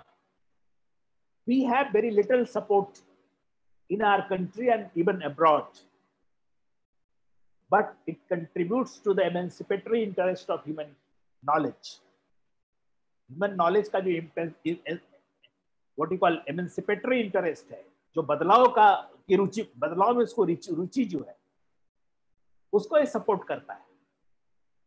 और इसमें जो एक्टर्स हैं, जो रिसर्चर्स हैं, वो सेल्फ कॉन्सियस होंगे सेल्फ डिटर्मिनिंग एजेंट्स होंगे in the social construction of reality social construction जब रियलिटी काम करेंगे तो ह्यूमन बीइंग्स जो है, जिनसे हम डेटा लेंगे, वो भी participate as self conscious self determining agents they can determine something of the environment. तो सेल्फ अवेयर होंगे सेल्फ कॉन्सियस होंगे तभी रियलिटी का सोशल कंस्ट्रक्शन संभव है.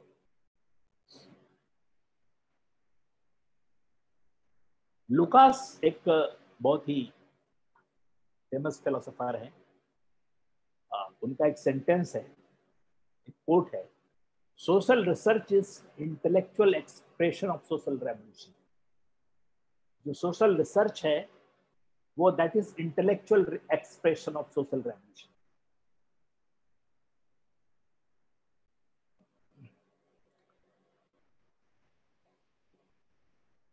जो हमारा डोमिनेंट अप्रोच जो प्री डोमिनेंट अप्रोच जो हमारा दो, जिस दो पैराडाइम की बात कर रहे हैं, वो बेसिकली हरारकी को लेजिटिमेट मानता है। जो हमारा हरारकीज बना हुआ है, उसको, उस रिलेशनशिप को लेजिटिमेट मानता है। उस पर प्रश्न चिन्ह नहीं खड़ा करना चाहता है। That is taken as legitimate और जो मैनेजरियल प्रैक्टिस है, उसको एक्सक्लूड मानता है। अगर हम टीचर्स हैं तो टीचर्स का काम एक अलग है that is independent of the management or managerial practices into the institution.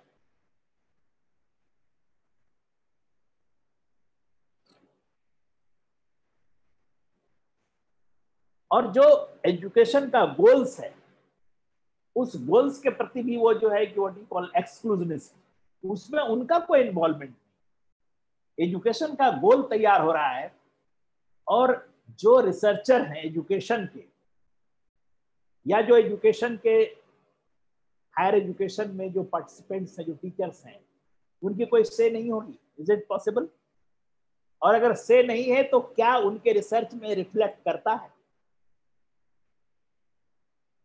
अगर आप पर्पस ऑफ़ एजुकेशन देखें आज के दिन तो क्या है? यूटिलिटेरियन है। आप क्यों पढ़ते हैं? किसी से पूछ लीजिए।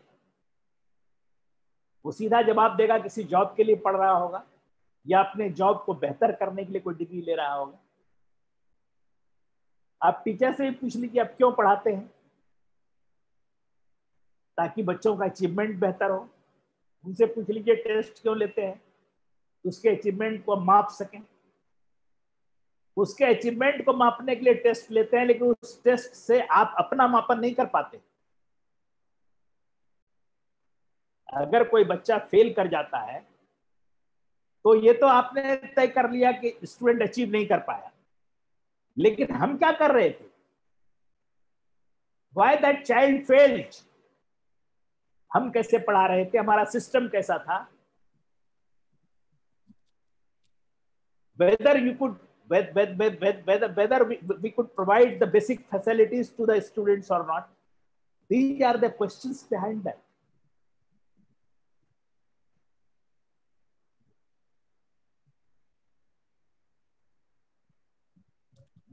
अब ये टेस्टिंग रेजीम इसी से एजुकेशन चलेगा या फिर और कुछ चाहिए? अगर हम टेस्ट लेते हैं और टेस्ट के कई यूज़ हो सकते हैं। हम अपने पेडागोजी को इम्प्रूव कर सकते हैं। We can we can find out the things why is failed और सी फेल्ड तो ये सब पूरा का पूरा एक मुद्दा है, जिसको समझना बहुत ज़रूरी है। ये रिलेशनशिप जो है, अगर आप एजुकेशन के पर्पस को भी देखेंगे Still you can find out the relationship आप उस पर्पस को सेक्रोसेंट मान करके काम नहीं करेंगे ना researcher will raise raise questions on that purpose. This purpose is incorrect. This purpose is not right. The goal of education is like that. This goal does not cater to the needs of the millions of the common students or common people. Things like that. तो जो existing relationship है उसको री नहीं करने का काम केवल नहीं होगा बल्कि एग्जिस्टिंग रिलेशनशिप्स में जो वीकनेस है या एग्जिस्टिंग रिलेशनशिप को टर्न ओवर करने की ज़रूरत है that should also be the basic issue of the of the researcher sir समय का थोड़ा ध्यान रखेंगे। अब क्वेश्चन आंसर हाँ। का सेशन नज़दीक आ ही गया है। अरे ठीक है थोड़ी देर में तो ये क्रिटिकल अप्रोच जो है इसमें जो सेल्फ नॉलेज जो जो हमारा रिफॉर्म्ड मेथड होगा that will augment human self knowledge and encourages human participation in social processes. Now, I'd like to uh, discuss one very important thing. Uh, that is the, we know that power and domination in alienated social environment अब देखिए जो environment है what is the environment of higher education research issues of the higher education research we talk of autonomy even almost all the recommendations of higher education even that you see the new policy that talks of autonomy even big autonomy to the institutions although roadmaps for that autonomy is still unprepared in a time to come, it will be prepared. There is concept of graded autonomy. Now, what is this autonomy? Why the higher education institutions should be autonomous?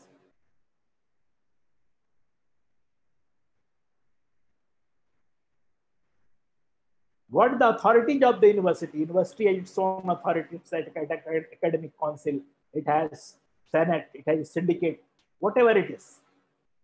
These institutions or these uh, authorities were, were what you call legislated to, to, to, to, to run the university in an autonomous way. But now you see the relationship between the university and the, and the government. So this relationship, whether this relationship features in, in, in, in our research or not,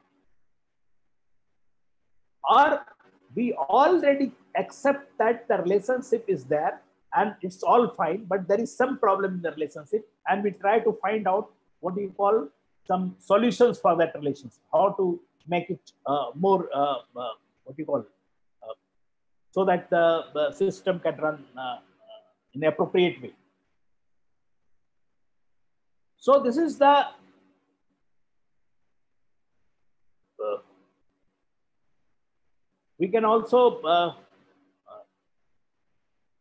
assume that uh, like the goal of inquiry is the establishment of an identity between thought and object. Basic goal is identity between thought and object, but this should be between thought and subject. And the empiricist root of knowledge जो है जो कि हम empirical method जो हमारा है इसमें जो साइंटिफिक डिटर्मिनिज्म है ये एक साइंटिफिक मेथड के थ्रू हम सब कुछ तय करेंगे। नॉलेज इज़ ऑब्जेक्टिव ये जो नॉलेज इज़ ऑब्जेक्टिव जो है साइंस वैल्यूज़ को कंसिडर नहीं करता है। Science has nothing to do with the values we say that although I have already given the example, the science runs on the. एक ही रिसर्च के अगर रिसर्च का फाइंडिंग ऑब्जेक्टिव होता इसमें किसी तरह का वैल्यू नहीं होता तो हर हमेशा वही रिज़ल्ट आता। लेकिन एक रिसर्च इंस्टीट्यूशन कहता है mustard oil is useful for health another research say another research say from another institution, it is harmful for the health. ये कैसे हुआ? क्योंकि वो एक्टर्स जिनसे उन्होंने रिस्पॉन्स लिया They are the passive receptacles. इसीलिए ऐसा हो गया अदरवाइज़ अगर साइंस का नॉलेज ऑब्जेक्टिव है तो एक ही जैसा फाइंडिंग्स आएगा इतना कैसे चेंज हो जाएगा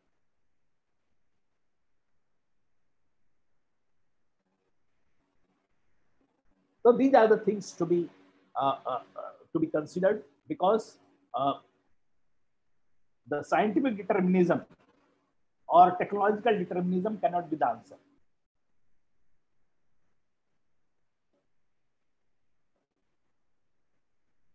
And finally, uh, we can say that that according to the the uh, the modern uh, philosophers, especially Habermas, who is still working, the concept, central concept of research is freedom. Don't curtail the freedom of this segment or that segment. And the goal of research is freedom in itself, freedom in methodology and freedom in result. It's not that there must be some, uh, some uh, what you call, patching up or to managing the methodologies. It should not be there. So the concept is uh, uh, uh this freedom is a more central concept, and uh, we can say the realization of freedom that is the absolute end and aim of the world. And I think uh, with this word, uh, I can close my talk. And now it is open for your question answer session. Thank you. Thank you very much, sir. Thank you so much. Now, question answer का session है. मैं कुछ questions पहले मैं return में जो आया है यूट्यूब चैनल के माध्यम से और चैट बॉक्स के माध्यम से मैं कुछ क्वेश्चन उठा रहा हूँ। एक क्वेश्चन आया है sir why why is epistemology important in research a Karuna from Coimbatore yes. Why is epistemology important yeah, in yeah, research yeah. Uh, epistemology uh, is important it's, it's, it's, it's quite uh, you know that epistemology uh, uh, that uh, that inform us what counts valid knowledge. So until you know the nature of the knowledge, or what you can say that is the justification of the knowledge, or rationality of beliefs and rationality of the uh, result we have obtained. So, uh, what is the meaning of the uh, of, of the conducting research? because ultimately we have to get a valid knowledge. That knowledge is rational and that serves the purpose. So it is very important to, to, to, to see research or to, uh, it, is very important that what we, what we uh, find out in research and that knowledge should be valid and rational and uh, what we call that is uh, uh, its nature its nature should be known properly because the nature of the uh, result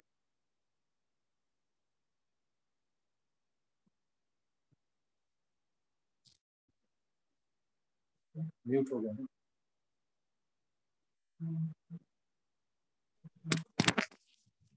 कुछ participants यदि आप अपना question पूछना चाहते हैं orally तो आप अपना हैंड रेज कर दें।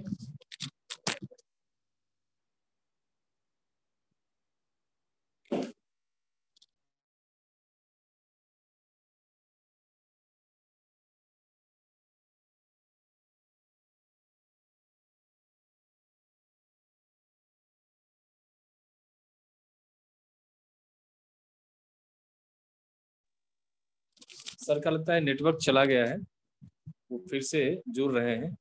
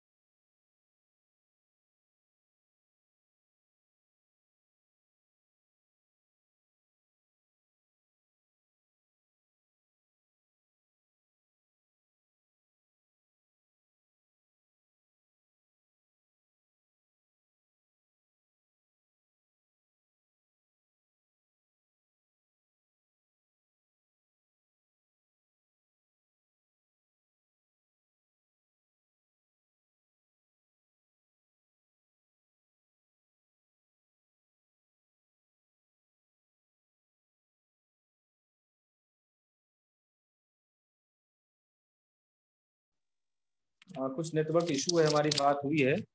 वो तुरंत कनेक्ट हो रहे हैं। थोड़ा सा सभी पार्टिसिपेंट्स धैर्य बना रखें।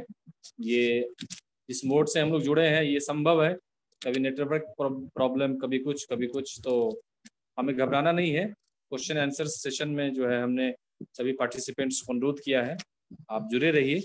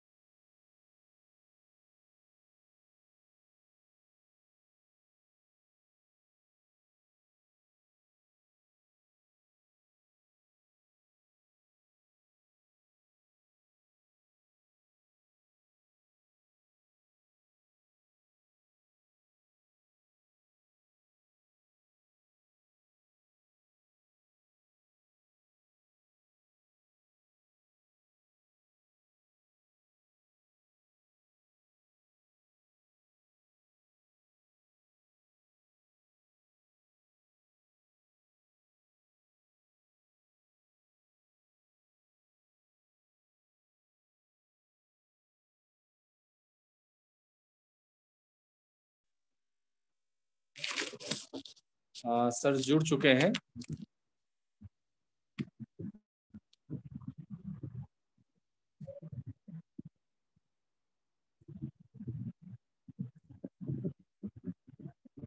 सर, आपको हमारी आवाज़ आ रही है, सर?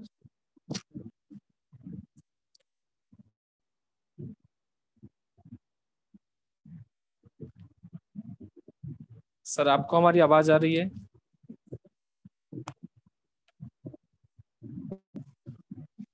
सर, आप अपने आप को अनम्यूट कर लें। आप जुड़ चुके हैं ऑलरेडी कैमरा ऑन कर लें, सर।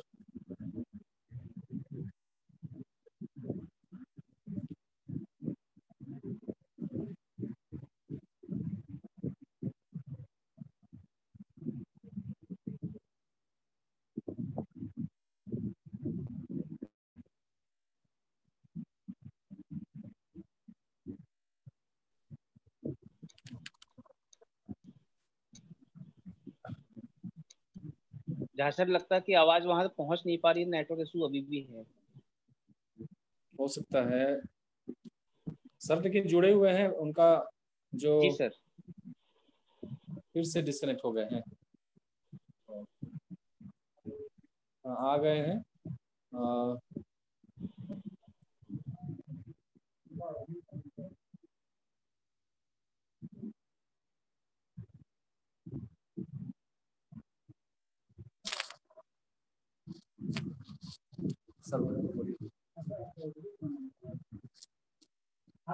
有一个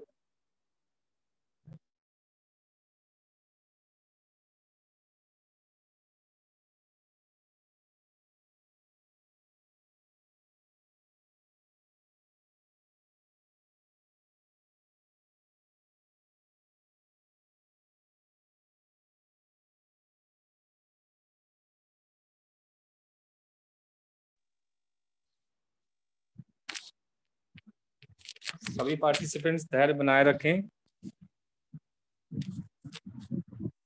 हमने मात्र एक क्वेश्चन लिया है और दूसरा जवाब सर दे ही रहे थे कि बीच में डिस्कनेक्ट हो गया। तो थोड़ा पेशेंस बनाए रखिए। सर दोबारा जुड़ रहे हैं। जुड़ चुके हैं ऑलरेडी लेकिन उनका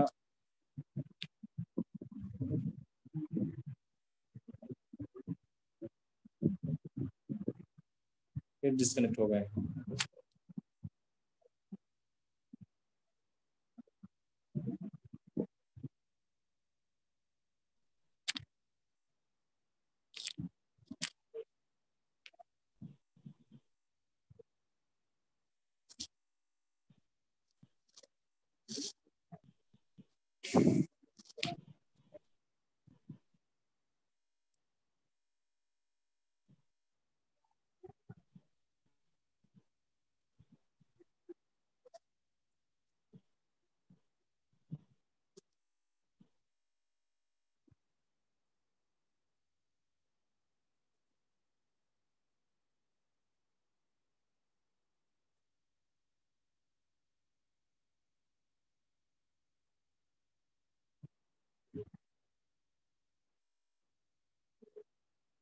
जुड़े।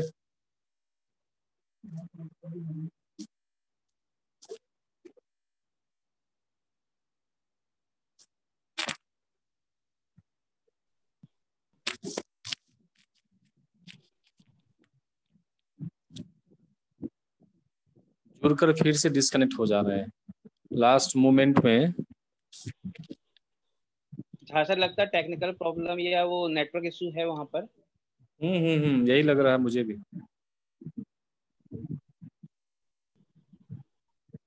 हम लोग थोड़ा सा वेट कर लें क्योंकि बिल्कुल सर बिल्कुल सभी। जल्दीबाजी नहीं है अभी।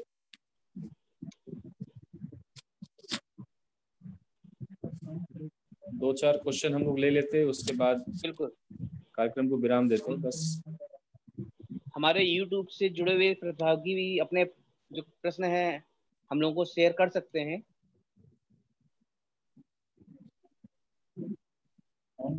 यहाँ से अनम्यूट नहीं होगा आ गए सर, पुनः पुनः जुड़ चुके हैं। सर, पुनः जुड़ चुके हैं। सर, आपको हमारी आवाज़ आ रही है, सर? सर, आप अपना माइक को अनम्यूट कर लीजिए।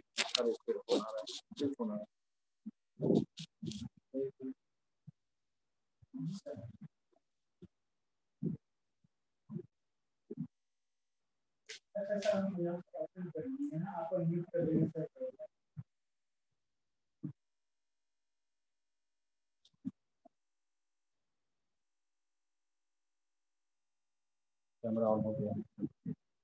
फिर कट गया।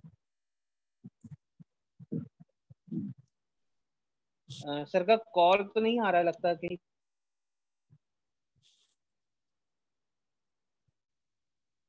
अभी जस्ट जुड़े थे हम फ़ोन से संपर्क भी किए हैं पता नहीं वहाँ से। सर जुड़ चुके हैं। सर आपको हमारी आवाज़ आ रही है सर?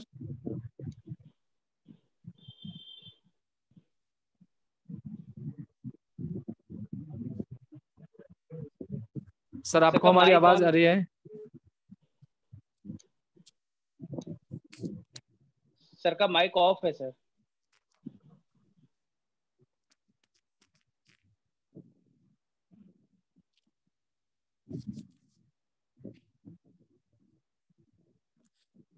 सर आप अपना माइक को अनम्यूट कर लीजिए।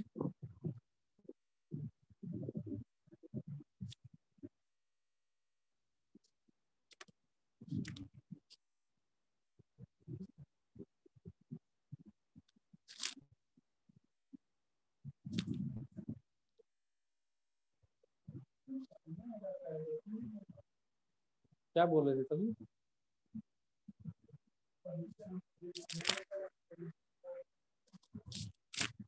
हेलो सर आपको हमारी आवाज़ आ रही है सर?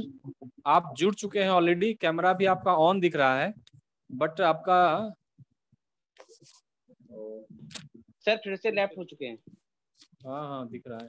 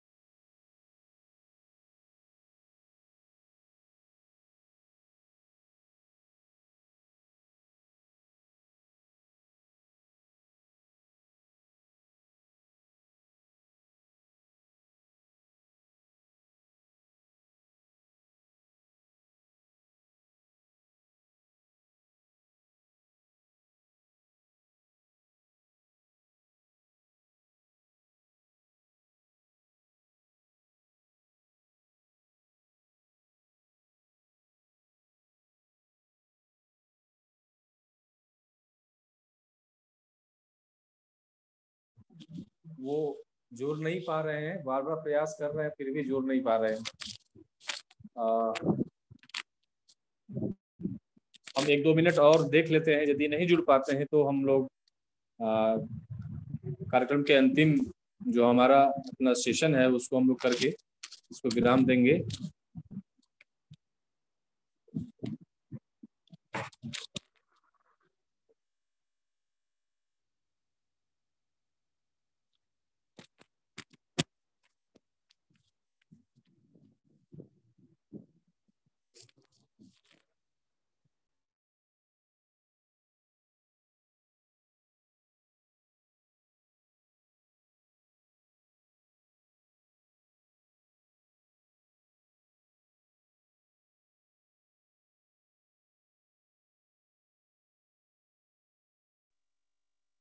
पार्टिसिपेंट्स फीडबैक लिंक और अटेंडेंस लिंक शेयर किए जा चुके हैं। आप अपना फीडबैक और अटेंडेंस लिंक जो है अटेंडेंस फॉर्म उसको फिल कर दें।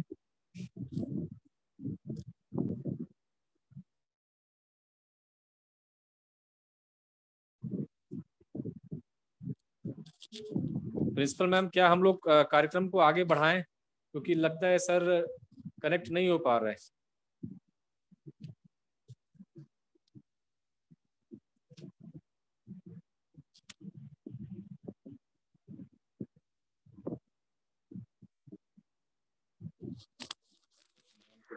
हैं?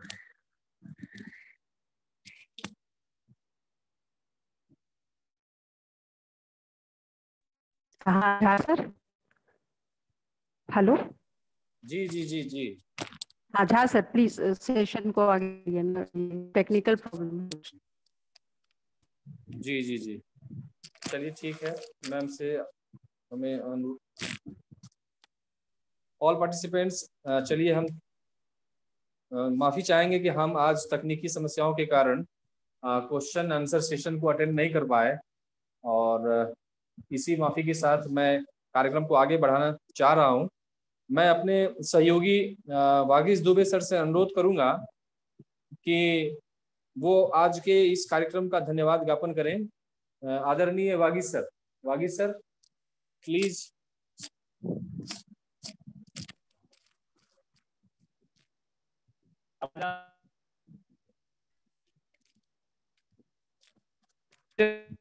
Wagi sir.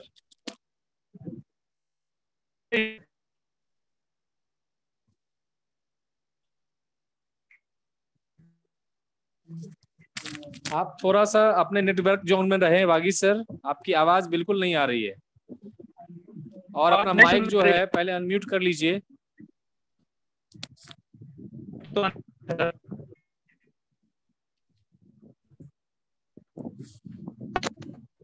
आवाज़ नहीं सुनाई दे रही। बहुत कम आ रही है ना के बराबर।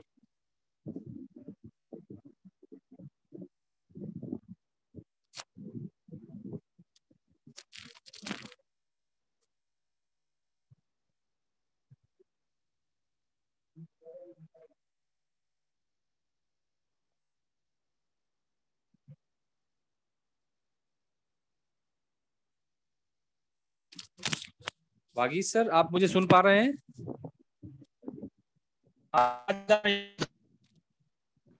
मेरी हाँ बोलिए तो बोलिए बोलिए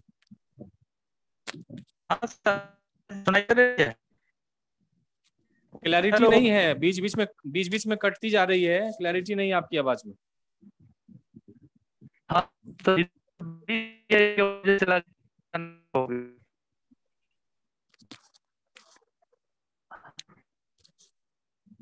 आप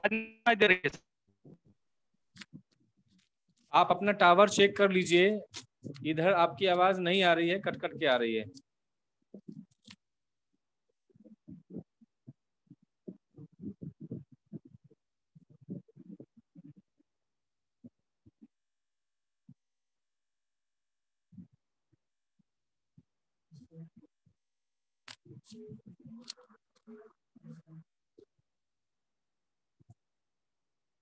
वागी सर?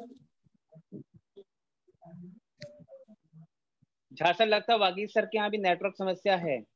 चलिए कोई बात नहीं है। मैं मैं सौरभ सर आप ही से निवेदन करता हूँ। वागी सर आप छोड़ दीजिए क्योंकि आपकी आवाज़ नहीं आ पा रही है। Sorry sorry sorry Wagi sir sorry sorry sir आपकी आवाज़ नहीं आ रही है। मैं मैं आदरणीय सौरभ सर से निवेदन करूँगा कि आप आज के इस कार्यक्रम को धन्यवाद ज्ञापन कर दें। आदरणीय सौरभ सर। धन्यवाद सर बहुत बहुत आज जैसा कि काफ़ी तकनीकी समस्या आ रही है और आज का जो हमारा टॉपिक था, हमारे मुख्य वक्ता डॉक्टर खगेन सर ने हमें विधिवत और बहुत गहनता के साथ हमें विषय संबंधित चर्चा की, हमें जानकारी दी। मैं उनका बहुत बहुत धन्यवाद करता हूँ और सर, उसके बाद में हमारे इस हमारे पाँच दिवसीय जो व्याख्यान माला है, इसके संचालक और सभी जो मीडिया कर्मी हैं, जो प्रतिभागी हैं और जो हमारे प्राचार्य विभिन्न राज्यों से जुड़े हुए हैं, जो शोधार्थी हैं, सभी का बहुत बहुत धन्यवाद है। उन्होंने इस पाँच दिवसीय व्याख्यान माला के तीसरे दिन जुड़े रहे हमसे और हमसे रूबरू रहे।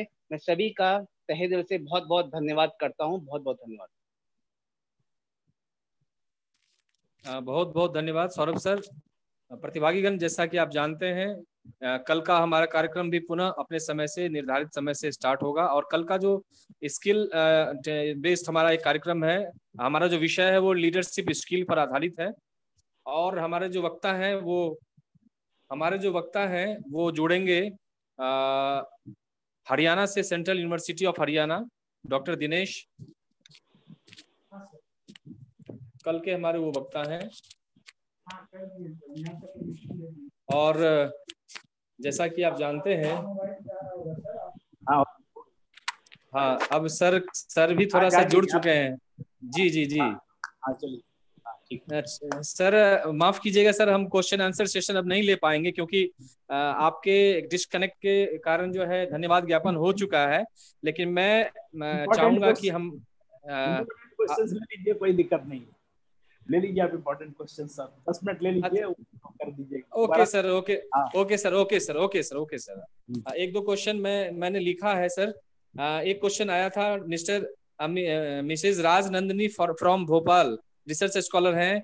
ये पूछ रही थी कि what is difference between ontology and epistemology देखिए, ये ये तो एक फिलोसफी का क्वेश्चन है। ये एक्चुअली ऑन्टोलॉजी फिलोसफी जब हम लोग स्कूल ऑफ़ फिलोसफीज आप पढ़ते होंगे तो वहाँ पढ़ते होंगे। और हमने शुरू में इसको स्पष्ट करने की कोशिश भी किया कि एपिस्टेमोलॉजी में बेसिकली हम ये देखने की कोशिश करते हैं व्हाट काउंट्स वैलिड नॉलेज जो नॉलेज हम जुटाते हैं एक्चुअली दैट इज़ वैलिड और नॉट और ये फोकस करता है nature limitations justifications of human knowledge और जहाँ तक ऑन्टोलॉजी की बात है वो डिस्क्राइब करता है स्ट्रक्चर ऑफ़ रियलिटी और स्टडी ऑफ़ बीइंग ये जो होना नॉलेज होने का वजूद जो है, उसको ये डिस्कस करता है और उसके जो है रियलिटी को तो ये एक्चुअली प्योर फिलोसफी की चीज़ें हैं, जिसको आप एक बार देख लेंगे तो आपको समझ में आएगा। जी। जी।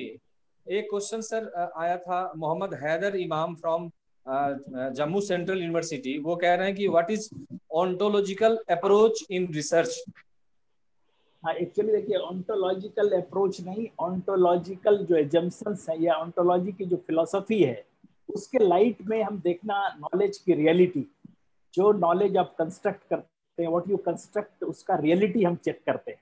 तो जैसे हमने कहा कि knowledge what we what we acquire that knowledge uh, appears to be uh, uh, uh, to be to be uh, uh, actually we collect data from the people who are having knowledge who act as a passive actor they are not very involved into the situation so actually the the, the data what we got that got from a person that appears to be receptacle वो जो है कि knowledge या information का receptacle है और वो information external stimuli से आया है। तो एक्चुअली ये हमारा इशू है कि ऑन्टोलॉजिकल में ये रियलिटी ऑफ़ नॉलेज को हम चेक करें। तो ये जो फिलोसफिकल बेसिस है, इस बेसिस के आधार पर we try to evaluate the research this two paradigms positivism and interpretivism ये हमारा मकसद है। जी। Okay sir one and last question sir हम लोग ले रहे हैं। ये हैं रिसर्च स्कॉलर डॉक्टर ये R S Yediyurappa research scholar from Karnataka इनका ये कहना है कि sir what is the relationship between epistemology and research method हाँ it is it is quite related because once you talk of epistemology तो सीधी सीधी बात है व्हाट इज़ वैलिड नॉलेज तो वैलिड नॉलेज को कैसे आप देखें? ये नॉलेज वैलिड है या नहीं?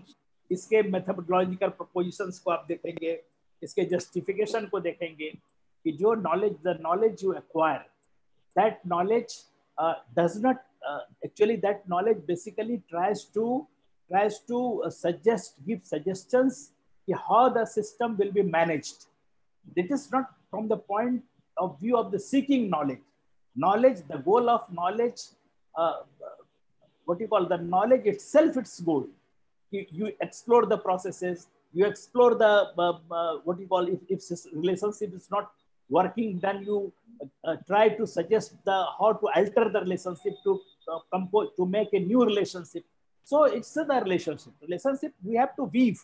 Relationship is hanging in the air. Here's the philosophical base, and here is the result.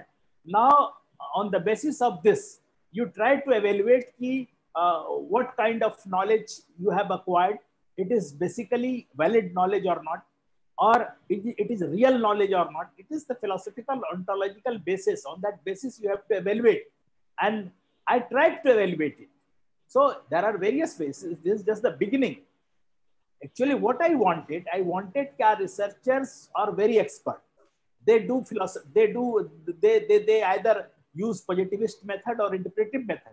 But my proposition is here that if they should also look ahead of it. He, when you acquire knowledge, how the system will be will be what you call uh, this will uh, um, um, this will balance the system. Why it is if, if there is you explore the relationship whether system could be balanced or not or there is a need of uh, change into the uh, relationship. So we have to uh, work for the freedom, individual freedom. There should be freedom in method and freedom freedom in uh, in in what you call freedom in aim and freedom in result both. Otherwise, you have set of norms and you are working under that norm. Okay okay sir thank you very much sir हमारा जो एक rotor पता नहीं अचानक कैसे fail कर गया और इस बीच में मुझे दूसरा रोटर लाना पड़ा मोबाइल भी काम नहीं कर रहा था। और चलिए ठीक है आप लोगों के इनकन्वीनियंस इसमें हुआ otherwise could take no problem sir ये ये माध्यम जिस माध्यम से हम लोग जुड़े हैं ये संभावना हो जाती है कभी कभी इसके लिए हम लोग को ज़्यादा सोचने की आवश्यकता नहीं है, सभी लोग जानते हैं। खैर, कोई बात नहीं, सर, मैं आपका धन्यवाद।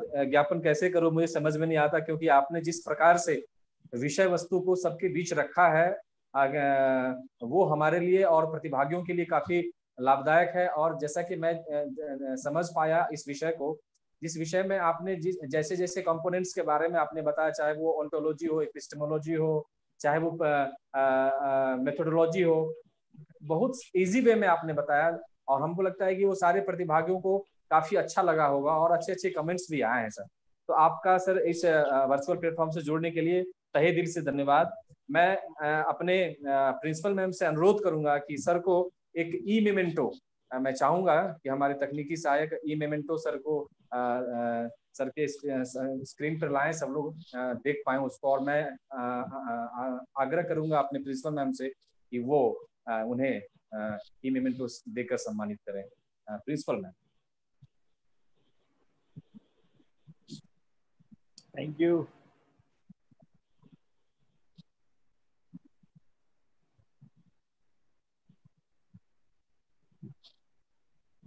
आदरणीय principal ma'am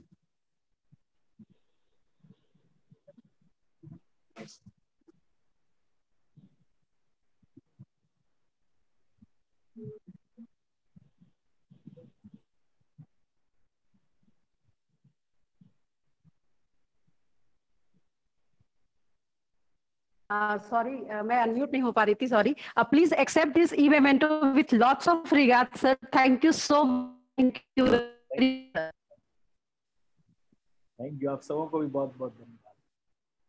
Thank you great opportunity for me केवल ये मोमेंटो जब आप हमको भेजिएगा तो ये जब हमको व्हाट्सएप पर तो ये फॉर्मर वगैरह सब हटा दीजिएगा। नीचे केवल लिख दीजिएगा professor department of education Patna university इससे पता sure, लगता है sure, कि okay. इससे लगता है कि एक रिटायर्ड आदमी बोल रहा है।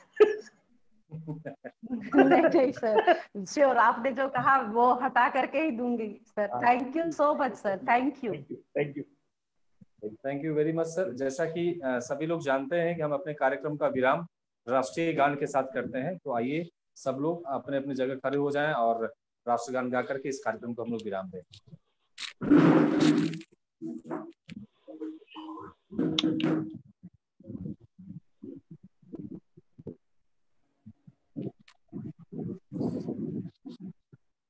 मन अधिनायक जय हे भारत भाग्य विधाता पंजाब सिंजाब मराठा द्राविड उत्कल बंगा हिमाचल यमुना गंगा उच्चल जलधि तरंगा तव शुभ नामे जागे तव शुभ आशीष मागे। गाहे तव जय गाथा। जनगण मङ्गलदायक जय हे भारत भाग्य विधाता। जय हे जय हे जय हे। जय जय जय जय हे।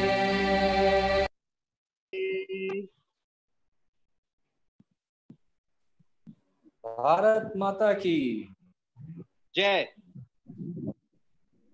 भारत माता की। जय। वंदे। मातरम। वंदे। मातरम।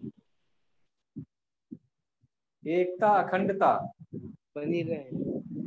अमर रहे। चलिए आज हम इस कार्यक्रम को यही विराम देते हैं। कल पुनः हम लोग अपने समयानुसार जुड़ेंगे एक नए विषय के साथ और एक नए वक्ता के साथ। आप सभी का इस प्लेटफॉर्म से जुड़ने के लिए तहे दिल से धन्यवाद। बहुत बहुत आभार।